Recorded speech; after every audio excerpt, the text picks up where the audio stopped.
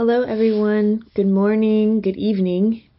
Thank you for joining us today from all of your respective places in the world. Today we're going to introduce the Beta VNP46A2 product, which is NASA's first black marble product. We're going to provide a training webinar about how to use black marble data in your own work. This is a one session webinar hosted today, December 3rd. The presentation will last around 60 minutes with a follow up question and answer session lasting 20 minutes following the presentation. You can find all of the course material for this training, the webinar, the PowerPoint presentation, and a homework assignment on the ARSET website page, which is shown in the blue link. There is one homework assignment due at the end of the training. As mentioned, you can access all of the material for the homework assignment, including instructions, a Google form, and a Python script at the website above. I'm Eleanor Stokes. I'm a scientist at USRA's Earth from Space Institute, and I'm the science PI of NASA's Black Marble product suite. I'll be presenting with Ranjay Shrestha, who is a scientific programmer and analysis expert on the Black Marble team at NASA Goddard Space Flight Center. The presentation today is divided into three parts. In the first section, I'm going to walk you through some of the basics and background of nighttime remote sensing and discuss generally how black marble is different from other nighttime lights data sets that are out there and available. And then Ranjay Shrestha is going to dive into the specifics of how the Black Marble algorithm works, where you can download the data, and how to use some of the quality flags associated with the product. Then I'm going to zoom back out and talk to you about three different research applications where our team has already used Black Marble data extensively. Ranjay will end the webinar with an introduction to the homework, which will give you a chance to get your hands dirty downloading, plotting, and interpreting the data for yourself with a Python tool we've created for our users. The learning objectives for today's training are the following. After participating in this training, you should know more about the basics of nighttime remote sensing, including which light sources are captured by night sensors, what are the key differences between existing night lights products, including Black Marble and DMSP OLS, and what is corrected for in the Black Marble algorithm. You will also have the information necessary to acquire and use Black Marble data. We will walk you through how to download Black Marble images from LAADS and talk about the different band layers in the Black Marble product and what each layer means. We will also show you how to consider quality assessment indicators when using Black Marble and how to process a Black Marble time series. Finally, we'll give you an overview of some of the ways Black Marble data is being applied in three areas of research to map urban areas and track urbanization, to monitor disasters, and to give us new information about COVID 19. So, now for an overview of some of the basics and background information useful to know when you're doing nighttime remote sensing. Daytime satellite measurements have been a staple of Earth observation since the very first environmental satellite platform in the 1960s. But at night, for many years, optical sensors were limited to the thermal range of the light spectrum, with relatively poor content in the visible range. Visible light at night, when the moon is out, is much fainter than visible light during the day, typically five to six orders of magnitude fainter than a daylit scene. So the sensors on night satellites have to be much more sensitive than daytime sensors. So what can we study with nighttime remote sensing? When the moon is out, night sensors can detect the reflectance of light off of snow cover, smoke, airborne dust, sea ice, and land surface features. Nighttime sensors can also detect cloud cover under a full or partial moon. In fact, the nighttime satellite sensors that exist and that we'll be talking about in this presentation were designed to image clouds. Supporting short-term weather prediction is the primary purpose of nighttime sensors. The moon is Earth's main natural source of light at night, but it is a mistake to think the night without moonlight is truly dark. There are several other sources of light at night, some natural and many human created, and we can capture these sources with nighttime optical sensors especially well when moonlight isn't present.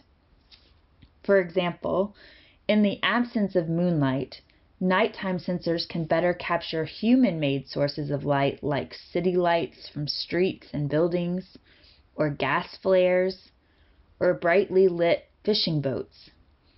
The sensors can also image fires, especially forest fires like those we've recently had in Australia and in the western United States. The sensors can capture natural lava flows and lightning. In the high latitudes, aurora can be monitored in the polar regions and bioluminescence over the oceans. Even night glow which is the faint emission of light from the chemical reactions in Earth's atmosphere, can be detected if the satellite sensor is sensitive enough. Because of the variety of light sources, nighttime light remote sensing has been widely used in many fields, ranging from human geography, demography, economics, sociology, to fishery, ecology, light pollution, and fire science. But nighttime remote sensing is fundamentally different from daytime remote sensing, primarily because the sources of light are different. In the daytime, the sun is the only source of visible light. The sun's light reflects off the Earth's surface and is captured by a satellite sensor overpassing above. For decades, scientists have studied and modeled how sunlight is reflected and scattered when it hits the Earth and they've characterized the surface properties of different land covers according to how land changes the angular direction and the intensity of reflected and scattered sunlight. In the night, the sun is no longer directly lighting the earth. Instead, sunlight is first reflected off the moon. The moon is a highly variable body in and of itself, with its reflectance changing based on both the time varying Sun Earth Moon geometry as well as its lunar phase. This means that the irradiance spectrum from the moon that then reflects off the Earth's surface is dynamic. For each date and time, it may differ. In addition, when the satellite captures the light reflected off the Earth's surface, it not only is capturing moonlight, shown in yellow, but also artificial light emissions from urban areas, boats, flares, etc., shown here in red. If we care about questions like how cities are changing over time, we have to first untangle the artificial light from the moonlight. It's important when you're doing nighttime remote sensing to keep in mind the entire path of light, from emission to reflectance to when it's finally captured by the satellite sensor. Specifically, the fact that there are multiple light sources. The sensor captures moonlight, light directly emitted by other light sources like city lights from buildings and traffic and street lights, as well as light scattered off the ground. So this is especially true if the ground is reflective, like when it is covered with snow Snow can increase the light reflectance of both the moon and the other anthropogenic light sources during winter months. Nighttime radiance can also fluctuate depending on the view angle of the satellite itself, resulting in uncertainties in the time series record. variations in the structure of the urban landscape, like whether it has tall buildings or short buildings, and other land features like street trees, can block the light emitted and reflected. The degree to which light is captured and blocked can change depending on the view angle of the satellite and also on the season.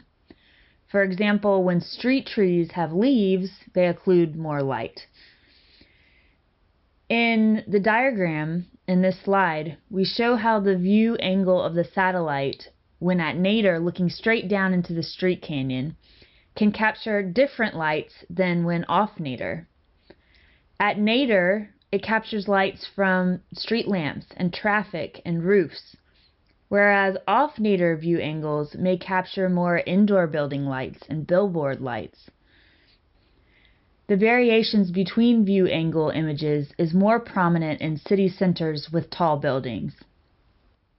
Monthly or annual composites that use all the available nightlight observations can neutralize the view angle variation, but not without losing the dense temporal record needed for quantitative applications, especially things like disaster response Therefore, it's important to consider the sensor view angle if you're comparing data from two different days or you're generating a longer time series. I want to give you a brief overview of three different non-commercial nighttime light sensors that are available so that you can understand the differences between existing nighttime lights products. First, we have images of the Earth at night, which are taken by astronauts on board the International Space Station. The astronauts go into a cupola, which is a glass observation dome with seven windows attached to the space station. You can see an inside picture of the cupola on your right. The astronaut inside is using a camera to look down at a city below. From the cupola, these astronauts use digital cameras to shoot pictures at night as they fly above the Earth. The images that they capture with these cameras have three spectral bands a red, a green, and a blue channel, like most digital camera images. A long exposure time is needed to get a good shot, so one major challenge has been to develop ways to keep the camera steadily focused on one spot while the International Space Station drifts in orbit. In 2012, an instrument called the Night Pod was added to the International Space Station. The NightPod electronically adjusts the camera during operation to keep the desired target steady in the camera's field of view for several seconds. So the quality of images after the NightPod was installed are greatly improved and can achieve at best 10 meter resolution. It's important to note that the ISS images are just photos, not scientific data. They lack georeferencing, so it can be difficult to find images over a particular place and to use those images with other geographic data. Also, the sensors are not radiometers. The cameras used to shoot the images have changed through the years, and there is no consistency in the images captured across space or time. There are big gaps in coverage with parts of the Earth that have never been imaged by ISS photography at night, and the images are not taken consistently at any interval over time. Still, the International Space Station photography is one of the highest spatial resolution products that we have of urban nightlights. And it's also the only characterization of the different colors of lights at night. To browse ISS imagery, you can visit the Gateway to Astronaut Photography of Earth at the link provided on this slide. There you will find both daytime and nighttime images taken by the astronauts. In addition, a citizen science research project has used crowdsourcing to try to identify and geotag ISS night photographs. You can help with that effort and use the geotagged data by visiting www.citiesatnight.org. Here are two examples of ISS nighttime images, both of which focus on Italy. On the left is Rome, captured on April 8, 2015, with a Nikon digital camera stabilized by the NightPod instrument. You can see the different colors of light that make up different parts of the city. The radial pattern of major highways leading to the center of the city is one of the main patterns revealed by the lights. You can also see that places in the image like farms and nature reserves, protected woodlands, and even the ocean, which is in the lower left part of the image, all show up as dark in nighttime images. The picture on the right shows Italy in an off-nadir view taken in October of 2014 with the same camera. From this view, we can even see the night glow of the Earth's atmosphere, as well as the solar panels from the International Space Station, which are blocking the view on the right side of the image. The second Nightlights dataset is the Defense Meteorological Satellite Program's Operational Line Scan System, or DMSP OLS. The Defense Meteorological Satellite Program was started in the mid 1960s as the meteorological program of the U.S. Department of Defense. The aim of the program was to collect global cloud cover data day and night that was visible using moonlight as the illumination source. The era of global satellite observation of electric lighting started with DMSP OLS in 1976. A series of 19 OLS instruments have been flown and data collection continues to the present in 2020. However, the overpass times of each of these sensors varies, with some satellites in a dawn-dusk orbit and others in day-night orbits. Only the day-night satellites provide nighttime data in sufficient quantities to produce global nighttime lights products. While DMSP data has been available since 1972, the remote sensing community rarely used it until 1992. This is mostly because until 1992, DMSP OLS images were written to film and were not available in digital form.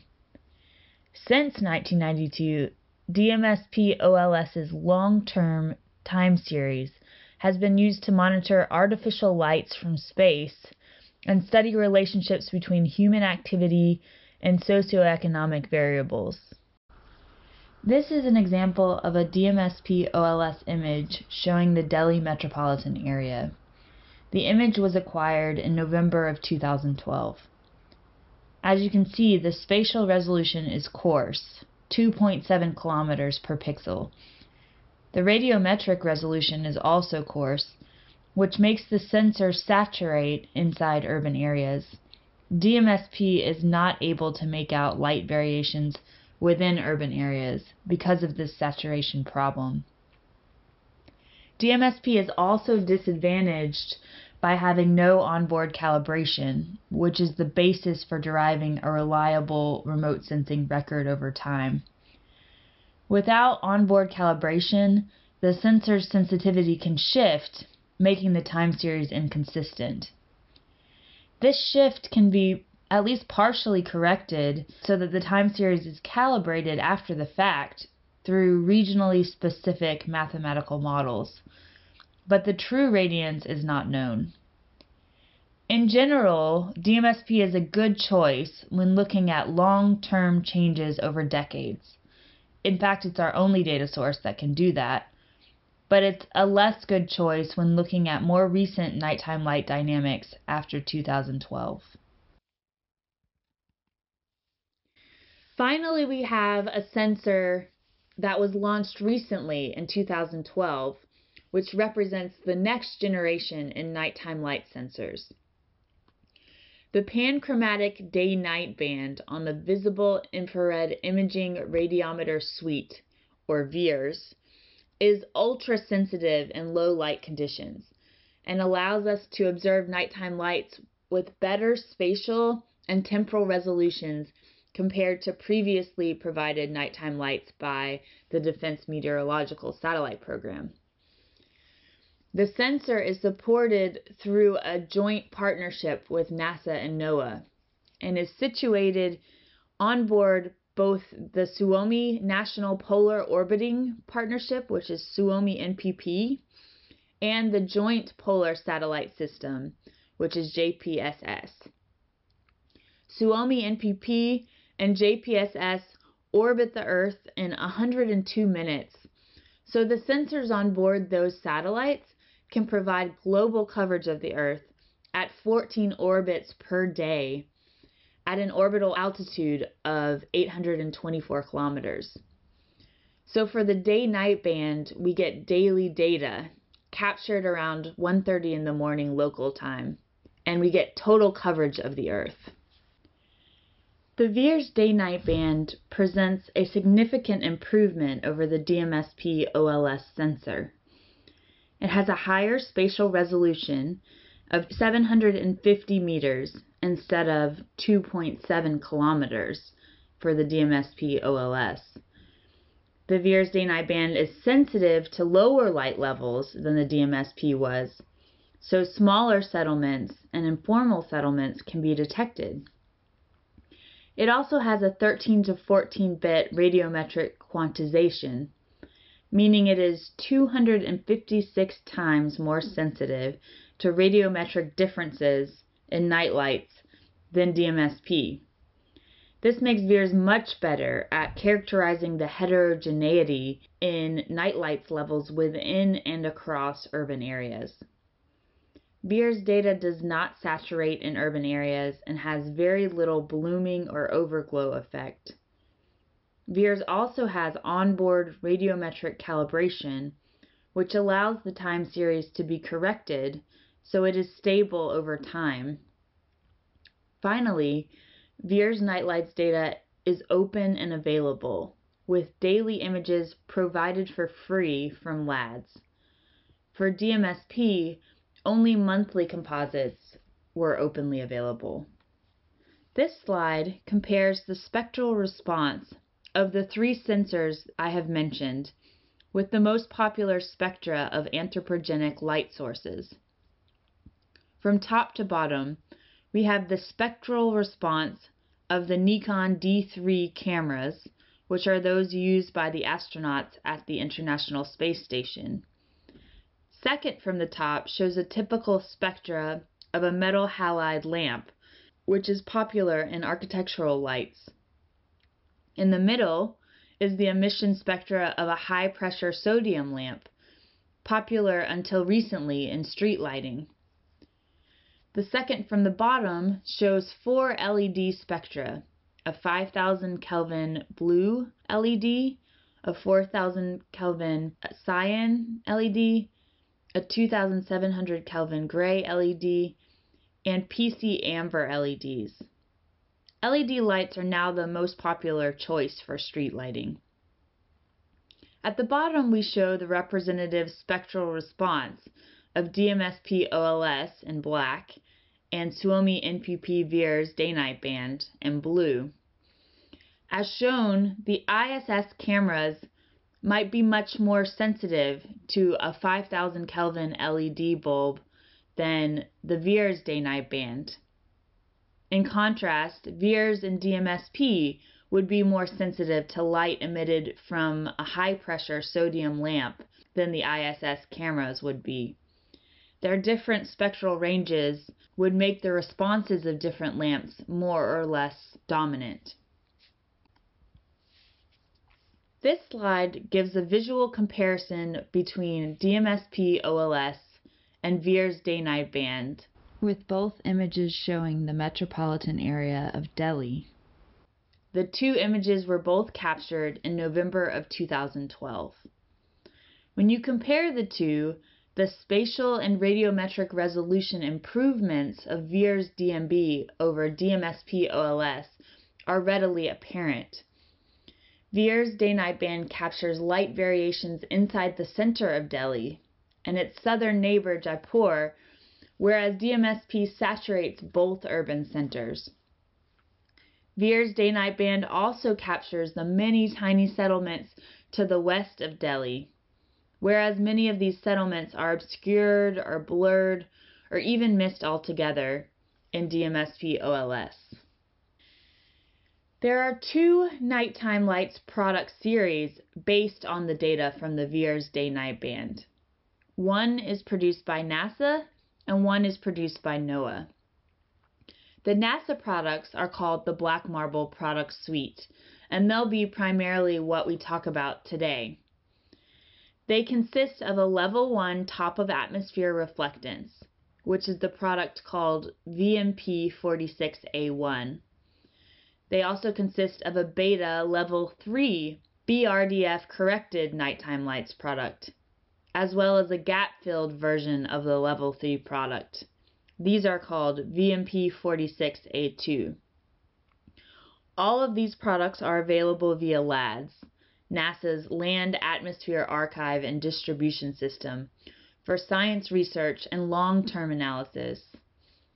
The Level 3 product is available on a daily basis for the entire Suomi NPP time series from 2012 to present. It is processed within 3 to 5 hours after the images are acquired by the sensor and is routed through NASA's LANCE system so that it can be used in disaster and rapid response applications. There are several differences between NASA's Black Marble Level 3 product and NOAA's VIIRS nighttime lights product. The first is its frequency. Black marble data is available on a daily basis, with monthly and annual products planned for the future. NOAA's product is only available on an annual or monthly composite. In addition, NASA's Black Marble corrects for moonlight, removing the lunar reflectance from all daily scenes. NOAA's product, instead, uses only moon-free nights to create its composite. The Black Marble product also corrects for snow and atmospheric effects so that the daily time series can be more stable. Black Marble does not remove ephemeral lights, since these light sources are of interest to many fields of research. It is important to note that the Beta Level 3 Black Marble product focuses only on land, so questions about fishing boats, bioluminescence, or other ocean phenomena would need to use the NASA Level 1 product or the NOAA VIIRS products. Both the NASA and NOAA products are cloud-free and stray light corrected. The Suomi NPP VIIRS linear grid is a longitude-latitude based grid that consists of 460 non-overlapping land tiles, which measure approximately 10 degrees by 10 degrees. You must use this grid to find the horizontal and vertical grid coordinates of the tiles you need for your study or application. The tiles highlighted in red show examples displaying the horizontal and vertical IDs for the cities of London and Beijing. London has a horizontal tile of 18 and a vertical tile of 3. You can download this spatial layer for the tile grid boundary as a shapefile from the provided link at the bottom of this slide. The tile numbers are attributes in the shapefiles database file. You'll need this in order to find the names of the tiles that you need. In this slide, we show examples of the three NASA Black Marble products. All three images show tile H29V05, which includes the city of Beijing, China, and surrounding areas. The image was acquired on Julian Day 63 in 2020, which is March 3rd of 2020. On that night, the moon illumination percentage was about 42%. On the left, you see the VNP 46A1 product, the top of atmosphere product. It gives us the raw, uncorrected, top of atmosphere nighttime lights. We can see various contaminations in this image, such as blurry lights due to thin clouds, which, if not corrected or masked out, could lead to a false reading of a decrease in nighttime lights in those areas. The middle image shows the VNP46A2 daily product. The daily BRDF corrected nighttime lights.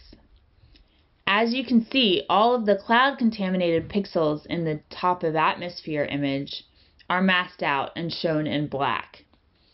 In this image, lunar contributions have also been removed. The atmospheric effects have been corrected. The third image to the right shows the VNP46A2 gap-filled product. In this iteration, the masked contaminated pixels are filled with the latest high-quality observation that occurred in previous days. The previous gaps in the VNP46A2 daily product are now completed a second example shows tile H18V03, which covers part of London and the coast of the United Kingdom. As in the previous slide, you can see how clouds are identified and removed and gap filled. In addition, if you compare the top of atmosphere product on the left with the gap filled product on the right, you can see that the moonlight contamination has been corrected. You can see this because the background unlit areas appear darker in the gap-filled image.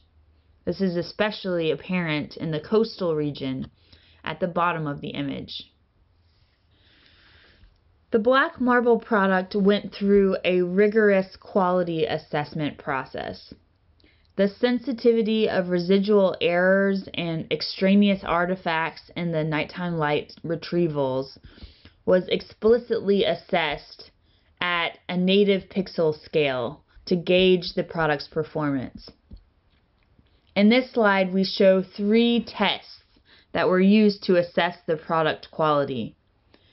The tests address the following three questions what fraction of the variation of the pixel-based nighttime lights is explained by lunar variations? What fraction of the variation in the pixel-based nighttime lights is explained by changes in snow cover? What fraction of the variation in the pixel-based nighttime lights is explained by seasonal changes in the tree canopy foliage? If you can remember, all three of these effects, the moon, changes in snow cover, and changes in tree canopy affect the path of lights from the source of emission to the satellite sensor. To answer these questions, we look at the Pearson correlation coefficient between black marble nighttime lights over the past five years and a corresponding time series of the artifact variables like lunar phase or snow presence we employed a random stratified sample of 72,000 individual top of atmosphere and VNP46A2 grid cells. And those random stratified sample of pixels represent a diverse range of urban covers, surface conditions, and latitudinal gradients. For the lunar test, we also used the Global Urban Footprint product and Urban Land Cover product from the German Space Agency. This product ensured that the stratified sample was spatially representative of different stages of urban growth, from sparse rural to densely built up pixels. So look at these two figures on the left, the two line plots. The line plot shows the R squared correlation between nighttime lights and lunar phase as a function of the percent urban area and as a percent of snow cover. In both graphs, the top of atmosphere is shown in red, and the NASA Black Marble VNP 46A2 product is shown in blue. The urban plot on the left demonstrates that the lunar effect can be reduced down to an R squared coefficient of 0.37 across low density urban pixels in the range of 60% urban cover. And then if you move up to even higher density urban pixels, like an 80 or 100% urban area, the R squared falls down even lower below 10% or 0.10. This indicates that there is not a strong correlation between the black marble nighttime lights product and the lunar phase for all sorts of different urban covers. The middle figure shows the R squared correlation between black marble and moonlight resulting from moon reflected snow surfaces. The dependence of the pixel-based values to lunar effects remained well below 0.3 R-squared coefficient for all different levels of snow presence. This is a substantial enhancement relative to the top of atmosphere data. In the right figure, we show the effects of seasonal variations in NDVI on nighttime lights. Seasonal increases in canopy level foliage during the summer months do not affect the trend in the VNP 46A2 nighttime lights time series record. The refinement over the top of atmosphere series is illustrated in the figure, where the blue points are not commonly found inside the black circle, where increases in the magnitude of nighttime lights during winter tracks corresponding decreases in the foliage during winter months. Because there are less blue dots in the black circle, that indicates that this effect has at least been partially corrected. The seasonal effect was found to be quite pronounced across temperate regions like the US, Europe, and Asia, as well as in West Africa and South Africa. This suggests that seasonal variations in nighttime lights are likely to be more pervasive than has been originally thought. It's something to keep in mind, especially when you're using the top of atmosphere product. In addition to the previous quality assessment tests, to enable quantitative uses of the nighttime lights time series, it's important to first establish the robustness of the algorithm with appropriate detection limits that are globally applicable and temporally consistent. This is particularly true when using nighttime lights to characterize abrupt short term changes, like when there are power outages, or to quantify low lit nighttime lights across areas of concentrated energy poverty. The tests shown on this slide assess variations in low lit nighttime lights emissions we test how daily variations in aerosol optical depth under varying view illumination conditions influence nighttime light's radiance.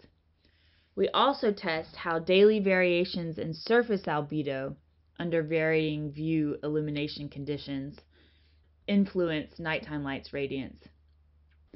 In the top two images on the left, daily VIIRS top of atmosphere and black marble scenes are shown in red and blue for two tiles over western India and eastern Mediterranean coast, exhibiting near to full moon conditions. The plots on the right show the nighttime light's radiance for various combinations of view zenith angle, black sky albedo, and aerosol optical depth for the corresponding scenes. The black dotted line in those plots show the targeted threshold performance of a minimum radiance of 3 nanowatts per centimeter squared per steradian. Results for this test show how the black marble product in blue maintains a near constant background radiance profile across the entire lunar illumination cycle. The black marble product is well within the goal performance of 3 nanowatts per centimeter squared per steradian. The plots also illustrate the highly nonlinear dependence of background dark pixels to different combinations of black sky albedo, view zenith angle, and aerosol optical depth. Essentially, the takeaway message is that neither view zenith angle, aerosol optical depth, or black sky albedo should affect the black marble data too much in these dark places. In addition to the product quality assessment tests, on-the-ground field experiments were also used to validate the black marble product and determine how accurately the sensor detects nighttime radiance. Field experiments were conducted across multiple light pollution abatement zones in Puerto Rico. During the night of March 2nd in 2017 at 2 a.m., the team conducted a validation experiment at a farmland site in Cabo Rojo, Puerto Rico. A stable point light source that had already been characterized in a lab was used.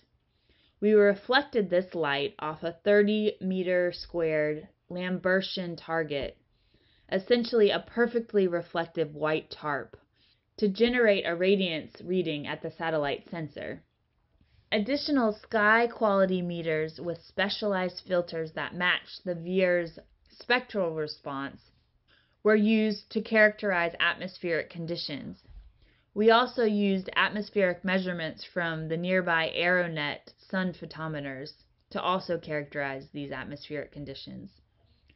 The results illustrate how the VNP46A2 estimates over the pixel were within the product breakthrough requirement of 0.43 nanowatts per centimeter squared per steradian after removing background noise we found that the black marble product resulted in a 17% sensitivity enhancement compared to the top of atmosphere cloud corrected radiance product under observed moon free conditions. In summary, the black marble product is a thoroughly tested, validated, scientific quality dataset for looking at daily changes in nighttime lights over land. Next up, my colleague Ranjay Shrestha will go into more detail about how to download and apply this product and make good use of the quality assessment indicators associated with the metadata so you can get the best results in your project. Thank you. Hello everyone. My name is Ranjay Shrestha. I am a senior scientific programmer analyst on the Black Marble Science team at the NASA Goddard Space Flight Center. In this second part of the training, I will go over steps on how to obtain and process the black marble data. Additionally, I will also give you an overview of all the scientific data layers included in the black marble VNP46A2 product.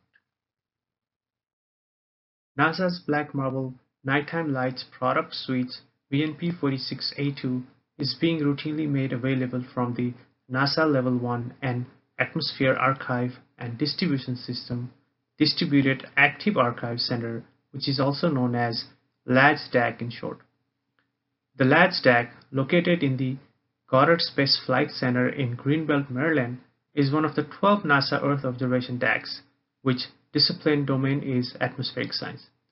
The LADSDAC serves the global NASA Terra and Aqua MODIS and Suomi NPP VIIRS science and application communities through efficient access to science data products, services, tools, and all other related resources.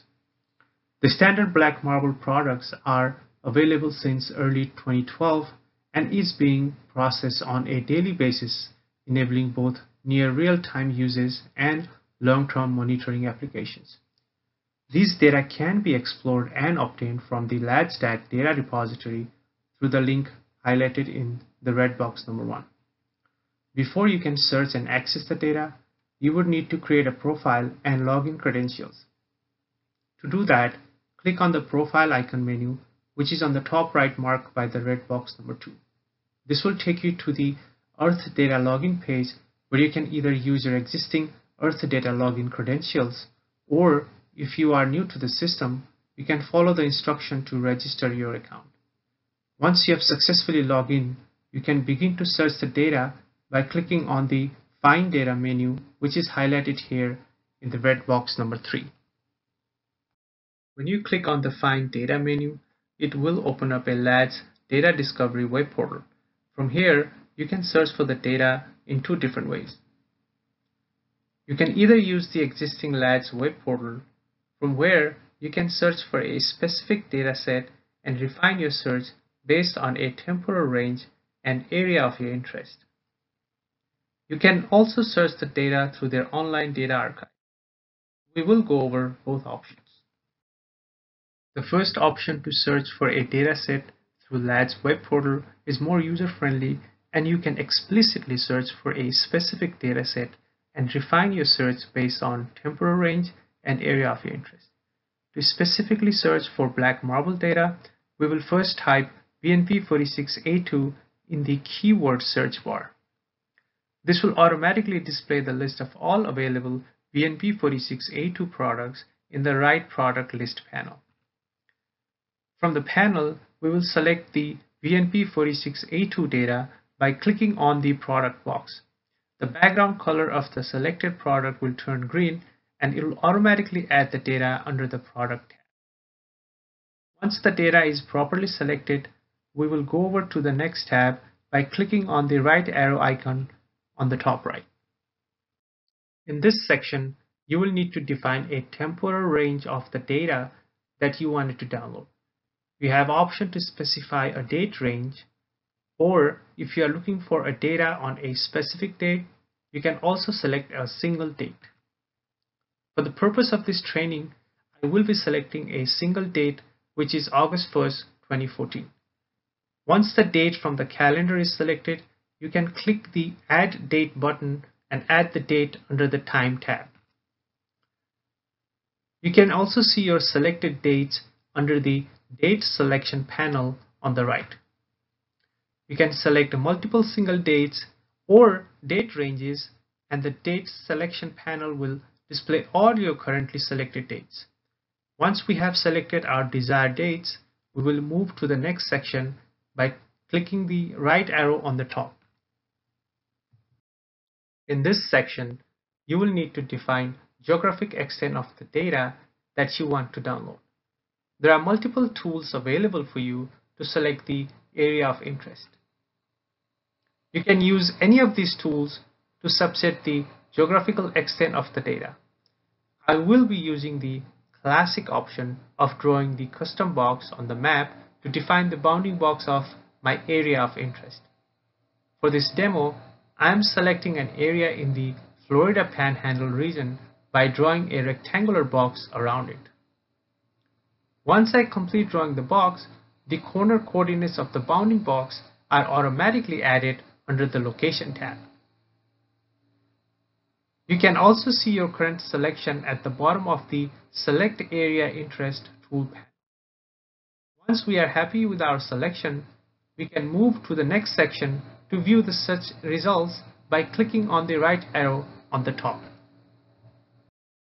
The next section lists the search results based on your selection criteria.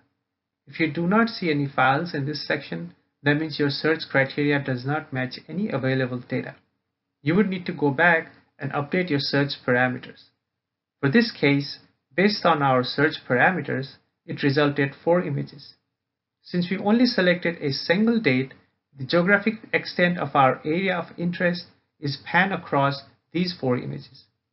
From here, you can either download each individual file by clicking the download icons or if you want to batch download all or multiple images, you can select them individually by clicking on the image file name which will turn the background color from gray to blue. You can also see the total number of files you've selected under the Selection tab. Click on the right arrow to go to the next section to review and order the data. In the final step, you can review the summary of the images that you have selected in the Files Summary panel. Next, you can select the delivery method on how you want to receive the data and click the Submit Order button to request your order. Depending on the size of your order, the processing may take from a few minutes to a few days. You will be notified by email when your order is ready. If you have any issues searching or acquiring the data through LAADS-DAAC, you can check the help section of the portal. You can also contact them through email if you need any technical support. The second method to obtain the data from the LAADS-DAAC is by searching through their online archive. This method is little advanced and you will need to know the horizontal and vertical tile grid that contains the geographic extent of your area of interest. In this section, we will go over how you can navigate through the online archive to find the data that you're looking for. We will also explain to you how you can calculate or obtain the tile grid information corresponding to the area of your interest. To start navigating the data archive, click on the Online Archive button which is on the top left panel. In the archive page, you will first need to navigate through the directory tree to get to the folder path highlighted in the red box. Alternatively, you can also directly access this page by using the link provided in the slide. Once you have navigated in the VNP46A2 folder, it will list year folders for the available data. You can then select the year of your interest by clicking on the corresponding year folder. Once you have selected a specific year, it will display daily folders which contain all the available black marble images for that specific day. You can click on any day that you are interested in to list all the available data for that day. Please note that the folder lists are in Julian day and you can refer to the Julian day calendar for each year from the link provided in the slide. Under each daily folder, you see the list of all available black marble images for that day. Here you need to know the horizontal H and vertical V grid tiles highlighted with the green box in this slide that includes the bounding box of the region of your interest. A general rule of thumb to calculate H and V tile number is also provided to you in the slide.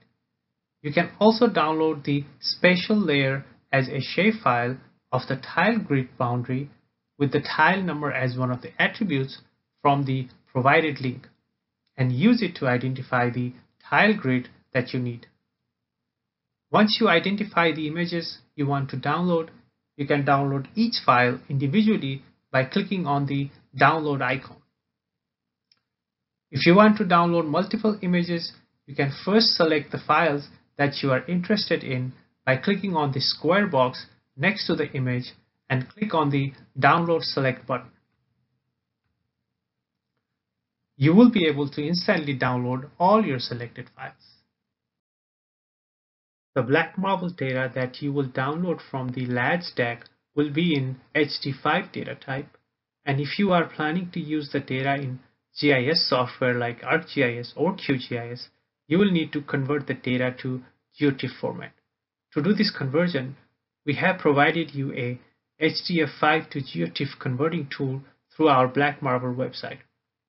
This tool is a Python-based script that you can execute in the Python console within QGIS. The script will let you select one of the seven data layers, which I'm going to talk about it in next slide, and convert it into GeoTIFF data format. You can obtain the script and the step-by-step -step instructions on how to execute this script in QGIS from the link provided in the slide. When you obtain the VNP46A2 product, you'll have seven scientific data layers containing information on BRDF corrected nighttime light, gap filled BRDF corrected nighttime lights, lunar irradiance, mandatory quality flag, latest high quality retrieval, snow flag, and cloud mask flag. The first layer is DNB BRDF corrected nighttime light, which is lunar BRDF and atmospheric corrected nighttime light in radiance. The second layer is gap filled DNB BRDF corrected nighttime light, which is gap filled lunar BRDF and atmospheric corrected nighttime light radiance. The third layer is DNB lunar irradiance, which is a downward lunar irradiance. All these layers are expressed in nanowatt per steradian per square centimeters in unit. The fourth layer is mandatory quality flag, which is an indicator of the quality of lunar BRDF and atmospheric corrected nighttime light radiance retrieval. The value of quality flag ranges from 0 to 3 with fill value of 255. I'll go over into detail on what each of these flag represents in the next slide. The fifth layer is latest high quality retrieval which provides the number of days between the latest high quality retrieval and current day of interest. The sixth layer is snow flag, which helps identify snow-free or snow-cover status of the surface. The final layer is QF cloud mask, which provides the status of cloud cover. The mandatory QA provides four indicators to help identify the retrieval quality of the observation. Value 0 is high quality observation, which includes persistent nighttime light.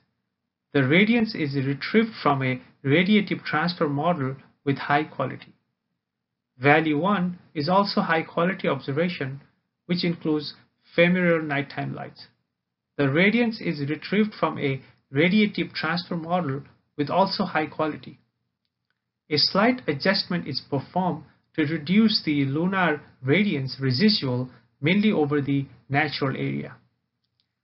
Value 2 is poor quality observation which include outliers, potential cloud contamination, or other issues. The radiance is retrieved from radiative transfer model. However, the corrected radiance shows relatively large difference with previous high quality data which could be caused by potential cloud contamination or other issues. Value 255 is fill value with no retrieval indicating the radiative transfer retrieval was failed. So with these included seven scientific data layers and the detailed quality flags, we hope that the user will have sufficient information to be aware of all the pixel level quality attributes associated with each data product and help them to utilize the data appropriately in their decision-making process. This concludes part two of the training. In the next part of the training, my colleague Eleanor will talk about the application of black marble data. Thank you, Ranjay. As mentioned in this last section, we're going to go over some of the applications of black marble data.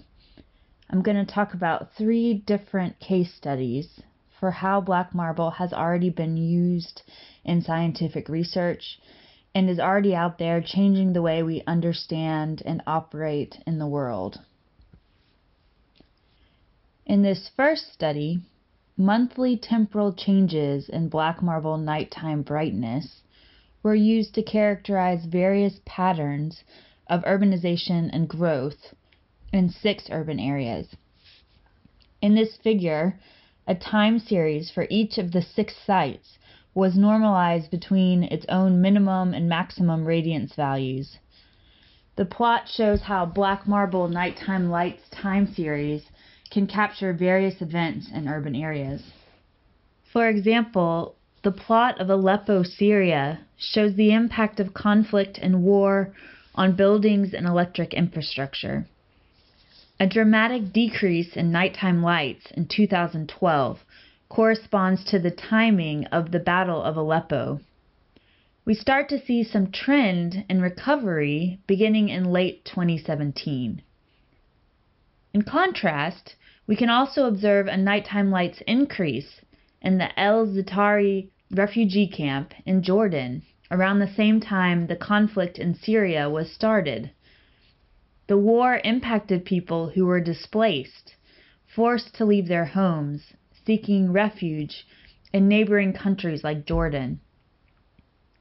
The third graph shows how nightlights can capture urbanization and economic growth. The growth and expansion of businesses in cities like Dubai in the United Arab Emirates is seen in the gradual increase in a nightlights trend. Nightlights can also capture damage to electricity infrastructure that can happen during a disaster. The fourth plot shows an abrupt blackout in San Juan, Puerto Rico during Hurricane Maria on September 20th, 2017. The hurricane caused a massive island wide power outage that took months to recover from. We will talk more about Hurricane Maria in subsequent slides. The graph that is the second from the bottom shows the decrease in nighttime lights that resulted from an economic recession. Venezuela entered into a still ongoing socioeconomic and political crisis in 2010 during the presidency of Hugo Chavez, a crisis that continued into the presidency of Nicolas Maduro. During this time, Venezuela's GDP fell from $334 billion to $68 billion, a decrease that is evident in the nighttime lights record in its capital city of Caracas. The last plot shows a seasonal pattern in Juliaca, Peru, that is commonly attributed to seasonal changes in albedo related to vegetation and snow cover. Lights are highest during Juliaca's snow season and lowest when Juliaca's lights are occluded by a full tree canopy. This slide gives a little deeper dive into how we've used black marble to track outages in Puerto Rico after Hurricane Maria. The plot compares black marble in red with total shares of peak load restored from official reports. During the aftermath of Hurricane Maria, Puerto Rico's Electric Power Authority (PREPA) served as the primary data source for tracking power outages in Puerto Rico. Following the reestablishment of PREPA's ground monitoring networks, self-reporting of island-wide electricity reconstruction efforts became routinely available. These reports estimated total rates of grid-connected and temporary power on a weekly basis, aggregated at the island level. In the figure, we compare these reports to our black marble-derived measurements of outage conditions. The nighttime lights approach tracks the timing of electricity recovery reported by PREPA, showing average differences of 17.9% across the period of evaluation. Three distinct post-disaster stages can be identified in both the satellite and utility measurements. Stage 1, which was the immediate damage assessment period following Hurricane Maria. Stage 2, which was comprised of the ensuing relief efforts led by FEMA and the U.S. military. And Stage 3, which included the recovery efforts led by PREPA and the U.S. Army Corps of Engineers.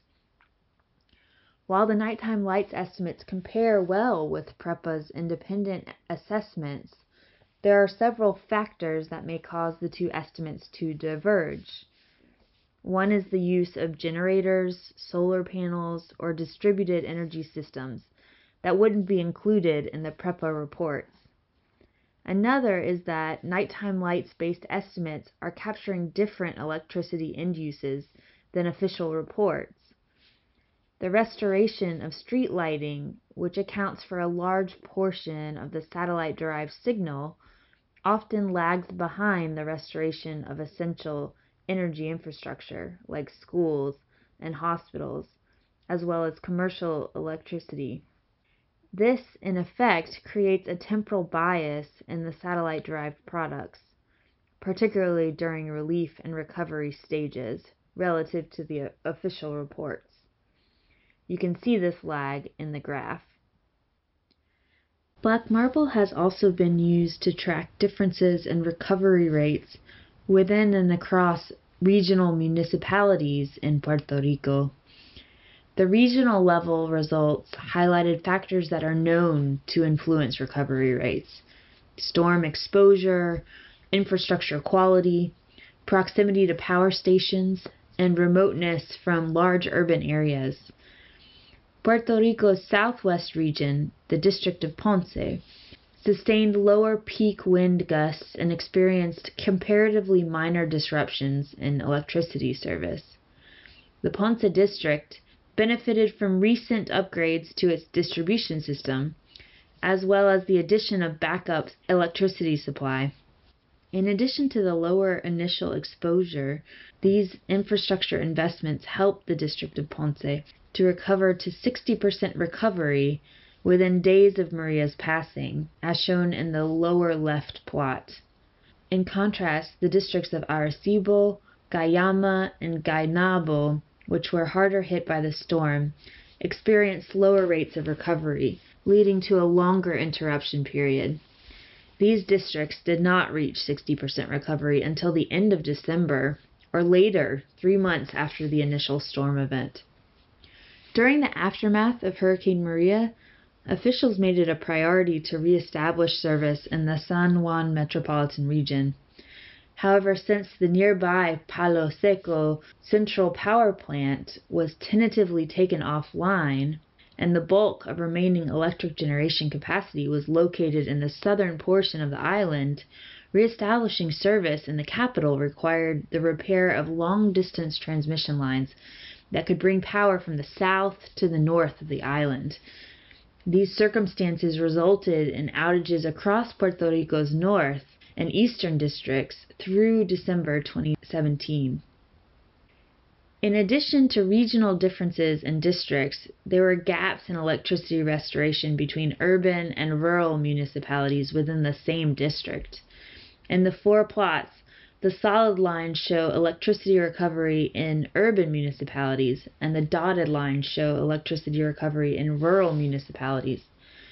Despite similar geographic characteristics and levels of storm exposure, most urban municipalities experience significantly faster recovery times compared to their neighboring rural municipalities.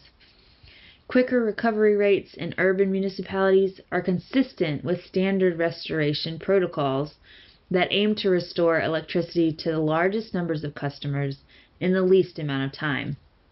Protocols therefore favor the allocation of electricity to population dense areas to benefit the most people. In addition, rural areas are often much more difficult to access because of narrower or low quality roads that are easily blocked by storm debris and obstructions. Barrios that were more remote were among the last to get power restored.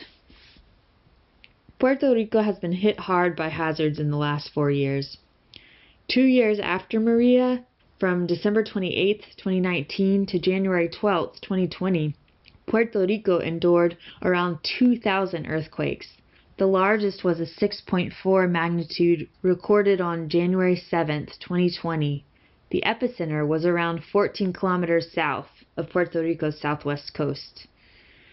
Multiple large magnitude aftershocks, resulting in 120 landslides, were recorded for the next couple of days throughout the island.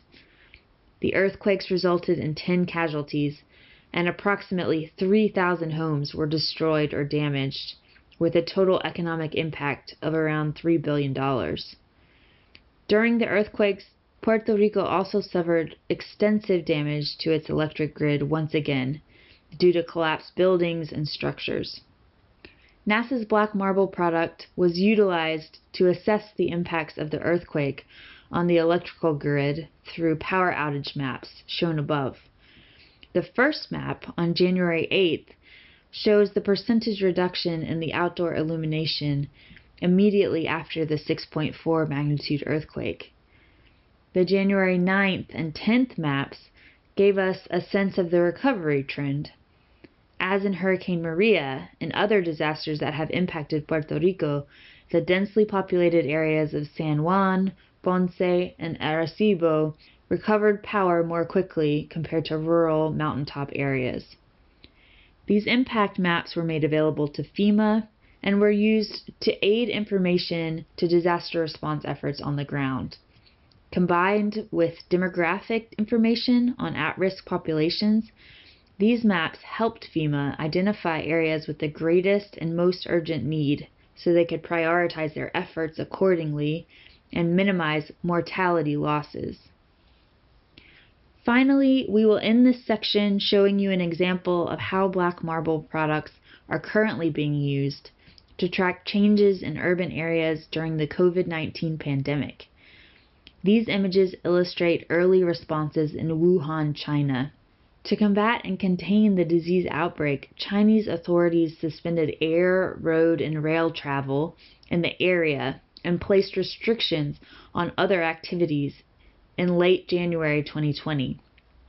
Using the Black Marble products, we were able to visualize the impact of these shutdowns on businesses and transportation around Hubei province, the ground zero of the outbreak.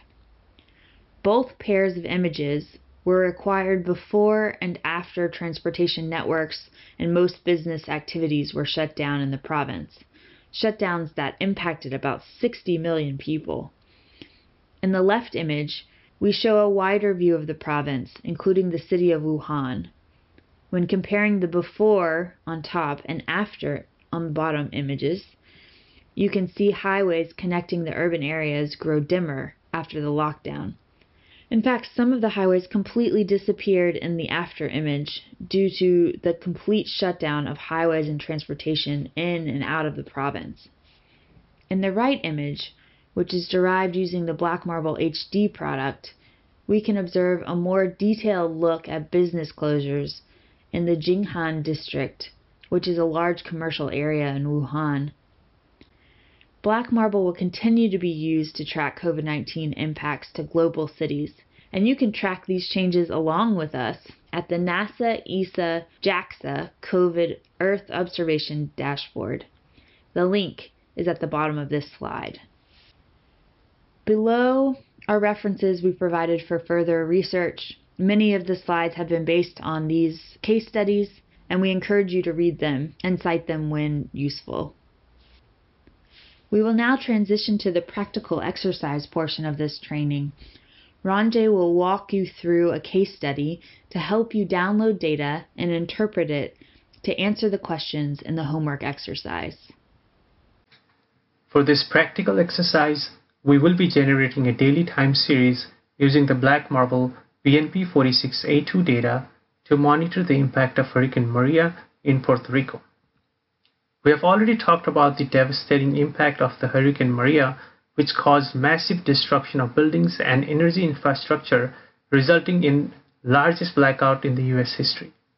Just to give you a quick statistics of the impact, the total damages in the island were estimated around 90 billion and the loss of about 15% in the gross national product. Over 4,600 lives were lost and about 200,000 people were migrated.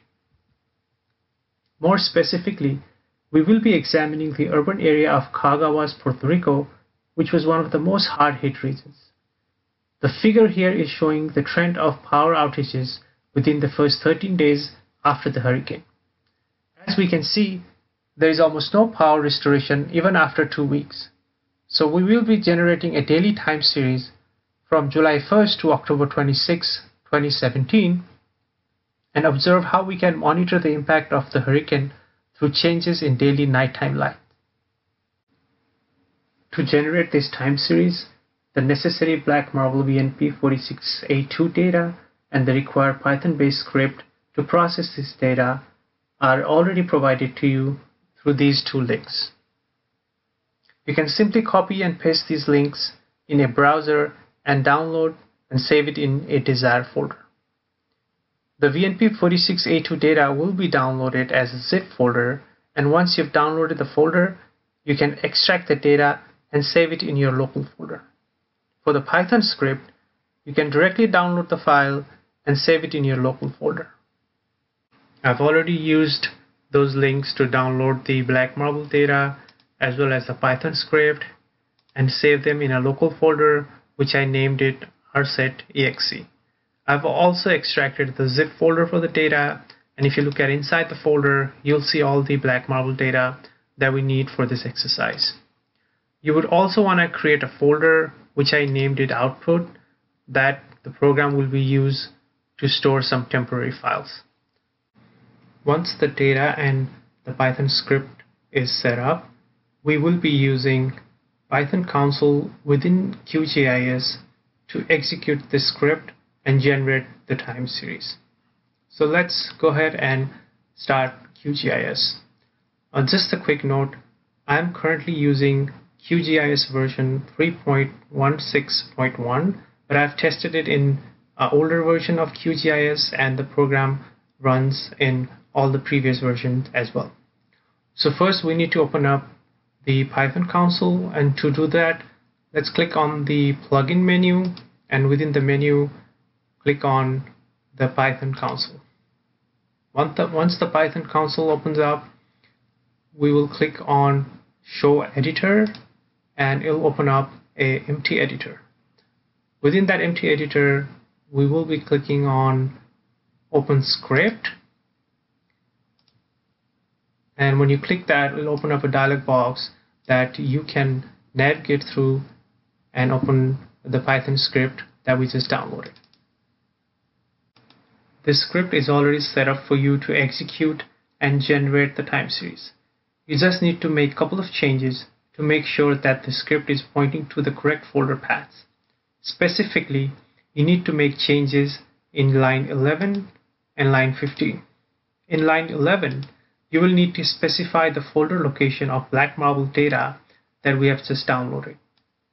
In line 15, you will need to specify a temporary folder location for the program to save some intermediate files temporarily.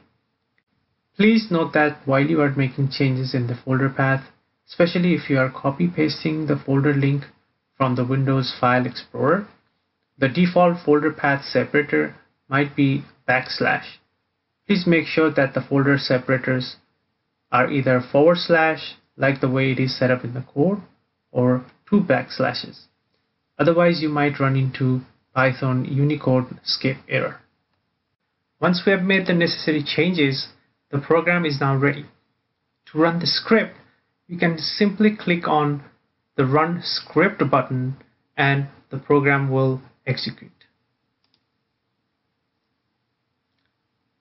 Depending on the speed of your computer, it might take up to a minute to finish the processing. Once the processing is complete, the script will generate a daily black marble nighttime light time series over Caguas, Puerto Rico. The orange graph represents the single pixel based time series whereas the blue graph represents time series based on 3x3 pixel size, which generates more smoother time series. The x-axis of the graph represents the day of the year, and then the y-axis represents the nighttime light in radiance. From the graph, we can clearly observe a significant drop in nighttime light radiance around September 25, which is five days after the Hurricane Maria landfall in Puerto Rico. Notice that we don't see immediate decline in the nighttime light after the hurricane. Instead, we see sort of flat observation. This is because the nighttime light observations were very poor due to extensive cloud covers few days before and after the hurricane. And the flat line observation that we see is the gap fill nighttime light radiance values. So this is one of the reasons we highly recommend everyone to refer to the quality flag layer of the data and to be aware of the quality observation before using the data for any decision-making purposes. We hope this exercise will provide a necessary tool for you to process the black marble data and generate daily nighttime light time series. We also hope that you will be able to build upon the sample script and explore more case studies in your field.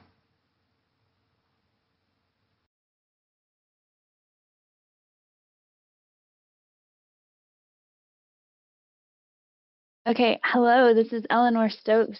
Um, thank you everyone for joining this webinar again. It has had an incredible turnout. I think folks attended from over 113 countries, which I think really emphasizes the popularity of this data set right now. And it gets all of us on the science team really excited to think about the cool applications that may be developed using Black Marble in the future. So we're going to try to answer as many of the questions that you've already posted as we can during this time period. Um, and luckily, we have many parts of the team online. Ranjay is online, and also Miguel Roman, who is the uh, PI of the Black Marble is also online, and he'll also be giving a Spanish version of this training today at 1 p.m. So um, if you can, if if you have Spanish-speaking colleagues, definitely check that out today. Um, so let's get to the questions, and we'll make sure to answer all of these questions in the final document, and we're going to post this document on the ARSET website within a week or so. Um, so if we don't get to yours today during the discussion, um, then check back, and I'm, I'm, sure we'll get to the answer eventually. Um, and also, Ranjay and Miguel, feel free to chime in on any of these. So question one, apart from QGIS, what other software can be used to analyze nighttime lights? Um, any software that's able to handle multi-band raster data can be used to analyze nighttime lights. So some of these that we know people use are ENVI, which uses IDL as a language. ArcGIS is a very common one. GRASS is an open source version of ArcGIS. Um, Black Marble data can also be processed without like a, a GUI, so using programming languages like R or Python or MATLAB. So it's a very um, workable uh, format. Uh, the current data format is HDF5. That's the NASA selected format of choice for standard science products. Um, and it's the underlying format for HDF5 EOS5. Um, but you can convert this format to a GeoTIFF using the tool on the Black Marble website. Um, uh, so feel free to check there if using HDF5 is not something that you're familiar with. Okay, the second question is, could you provide the full reference of the Levin et al. 2020 paper on night lights uh, referred to on slide 18? And we've added the reference below. So number three, um, Temporally, has the transition to LED streetlights in some places been noticeable using the VIIRS DNB data? The answer is yes. Um, I don't know of a study that has only looked at this, but um, it's been uh, uh, observed in two studies, which I've listed below, one that um, I led and one that Chris Kyba, who's a, a researcher interested in light pollution, has led. Um, and this is because of the spectral differences between uh, LED lights, which have that blue pump in the 495 nanometer range, or, or the, the blue spectrum part of the range, and then the VIIRS uh, spectrum is not sensitive to that really early, really sub 450 nanometer range of LEDs. So um, question four, is VNP 46A2 gap filled publicly available? Yes, um, we went through that, uh, how to download that from LAADS DAAC later into the webinar, so you can check back um, and re-listen to that section that Ranjay led, because um, the webinar will be posted on the ARSET uh, website. One question, which I think question 10, um, I'll just jump to that here. Uh, many of you pointed out that the 2020 data is not out yet. Um, so the um, black marble is still being processed on LAADS and uh, it's it will continue processing at 10 global days which are produced every 24 hours until it reaches the present day of 2020 um, so we expect the full data range to be finished by uh, the end of december but that's still forthcoming. It's just in process processing right now. Um, question five, I think. Um, Black Marble is available on a daily frequency. Are all geographic regions available on a daily basis or just partial? Nope, black, daily Black Marble products are available globally. So um, we're also going to, in the future, globally over land, I should say. Um, so in the future, we're looking at ways to also expand this to look at the oceans, but currently it's a, it's a land product. Um, in the near future, mid 2021, NASA will also produce and distribute monthly and annual composite products, um, but currently it is a daily product and the only daily product. Um, so, question six um, I was wondering if there would be examples in rural areas how would the images be influenced by elevation? So Suomi NPP is sensitive to very low light conditions. I think we talked about this in the calibration section. Um, so it can be used to do analysis over really small rural areas. In fact, our validation involved sort of going to a rural dark area and shining a big light up at the satellite and the, the satellite could, the sensor could perceive that, that singular light. So um, it's exciting that it is available and can perceive these really low light conditions.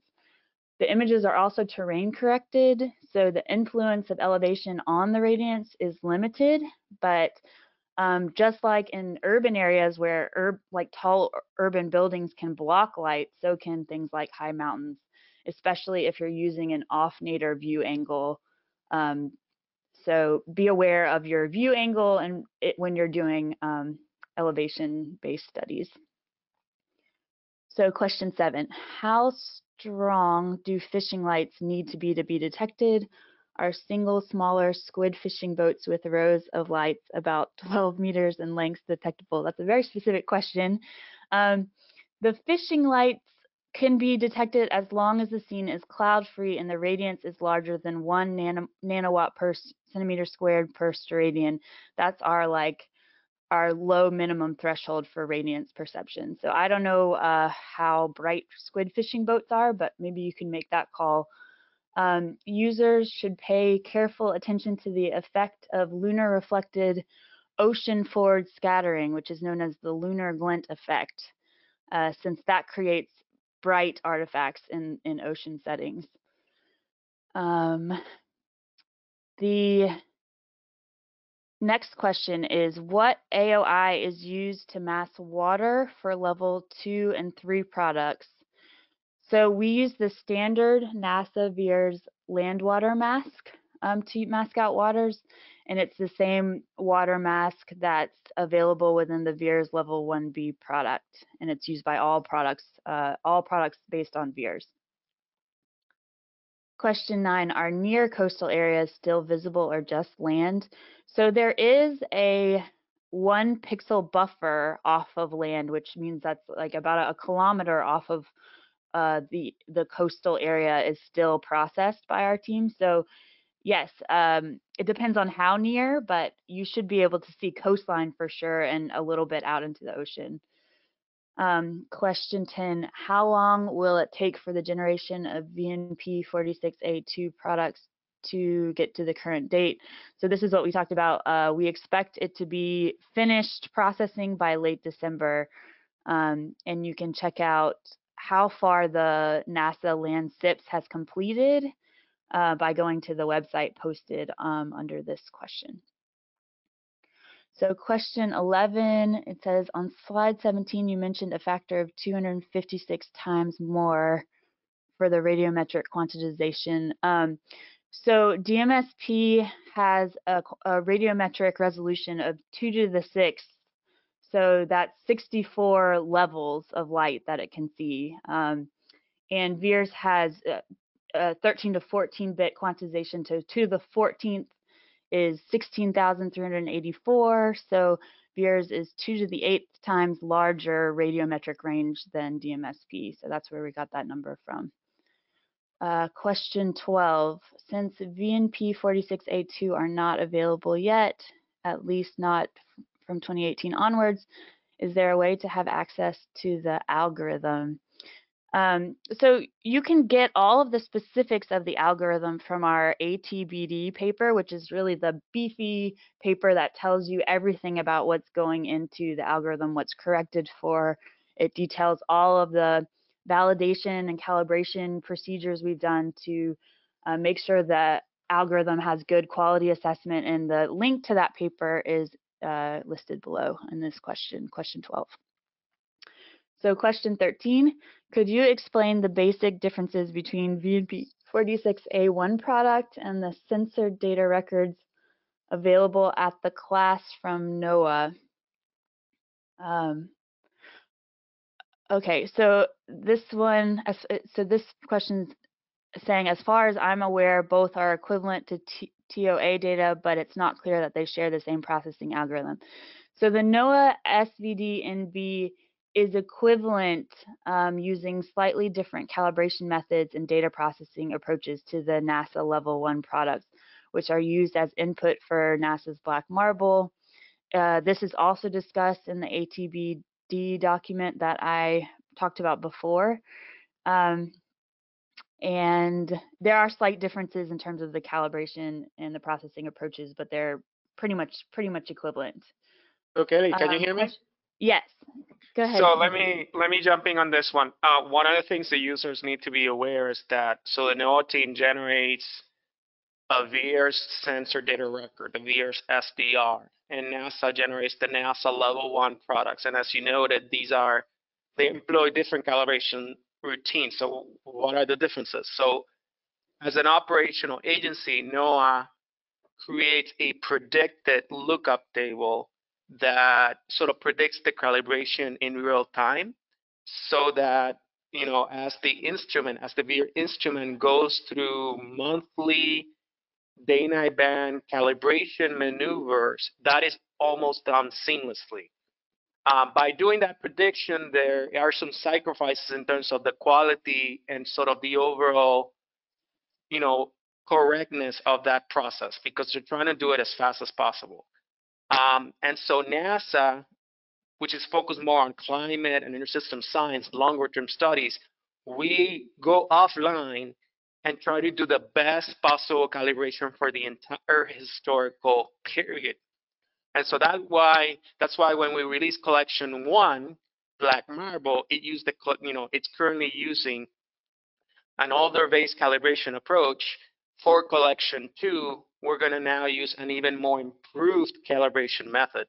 Um, so these are the differences, not just in terms of the product, but users need to be aware that as we're moving into new collections, as we do with MODIS, when we went from collection five to collection six, we're also going to go from collection one to collection two, and hopefully through more collections, the calibration will get even better. And that's something that's unique to the NASA way of developing calibrated radiance-based processes. I know the NOAA team's also doing their own type of calibration because they need to do that for their own processes to generate climatologies for the weather model. So that's also uh, employed, but our approach is more focused on that offline approach towards calibration. I just want to make sure that everybody's aware of that.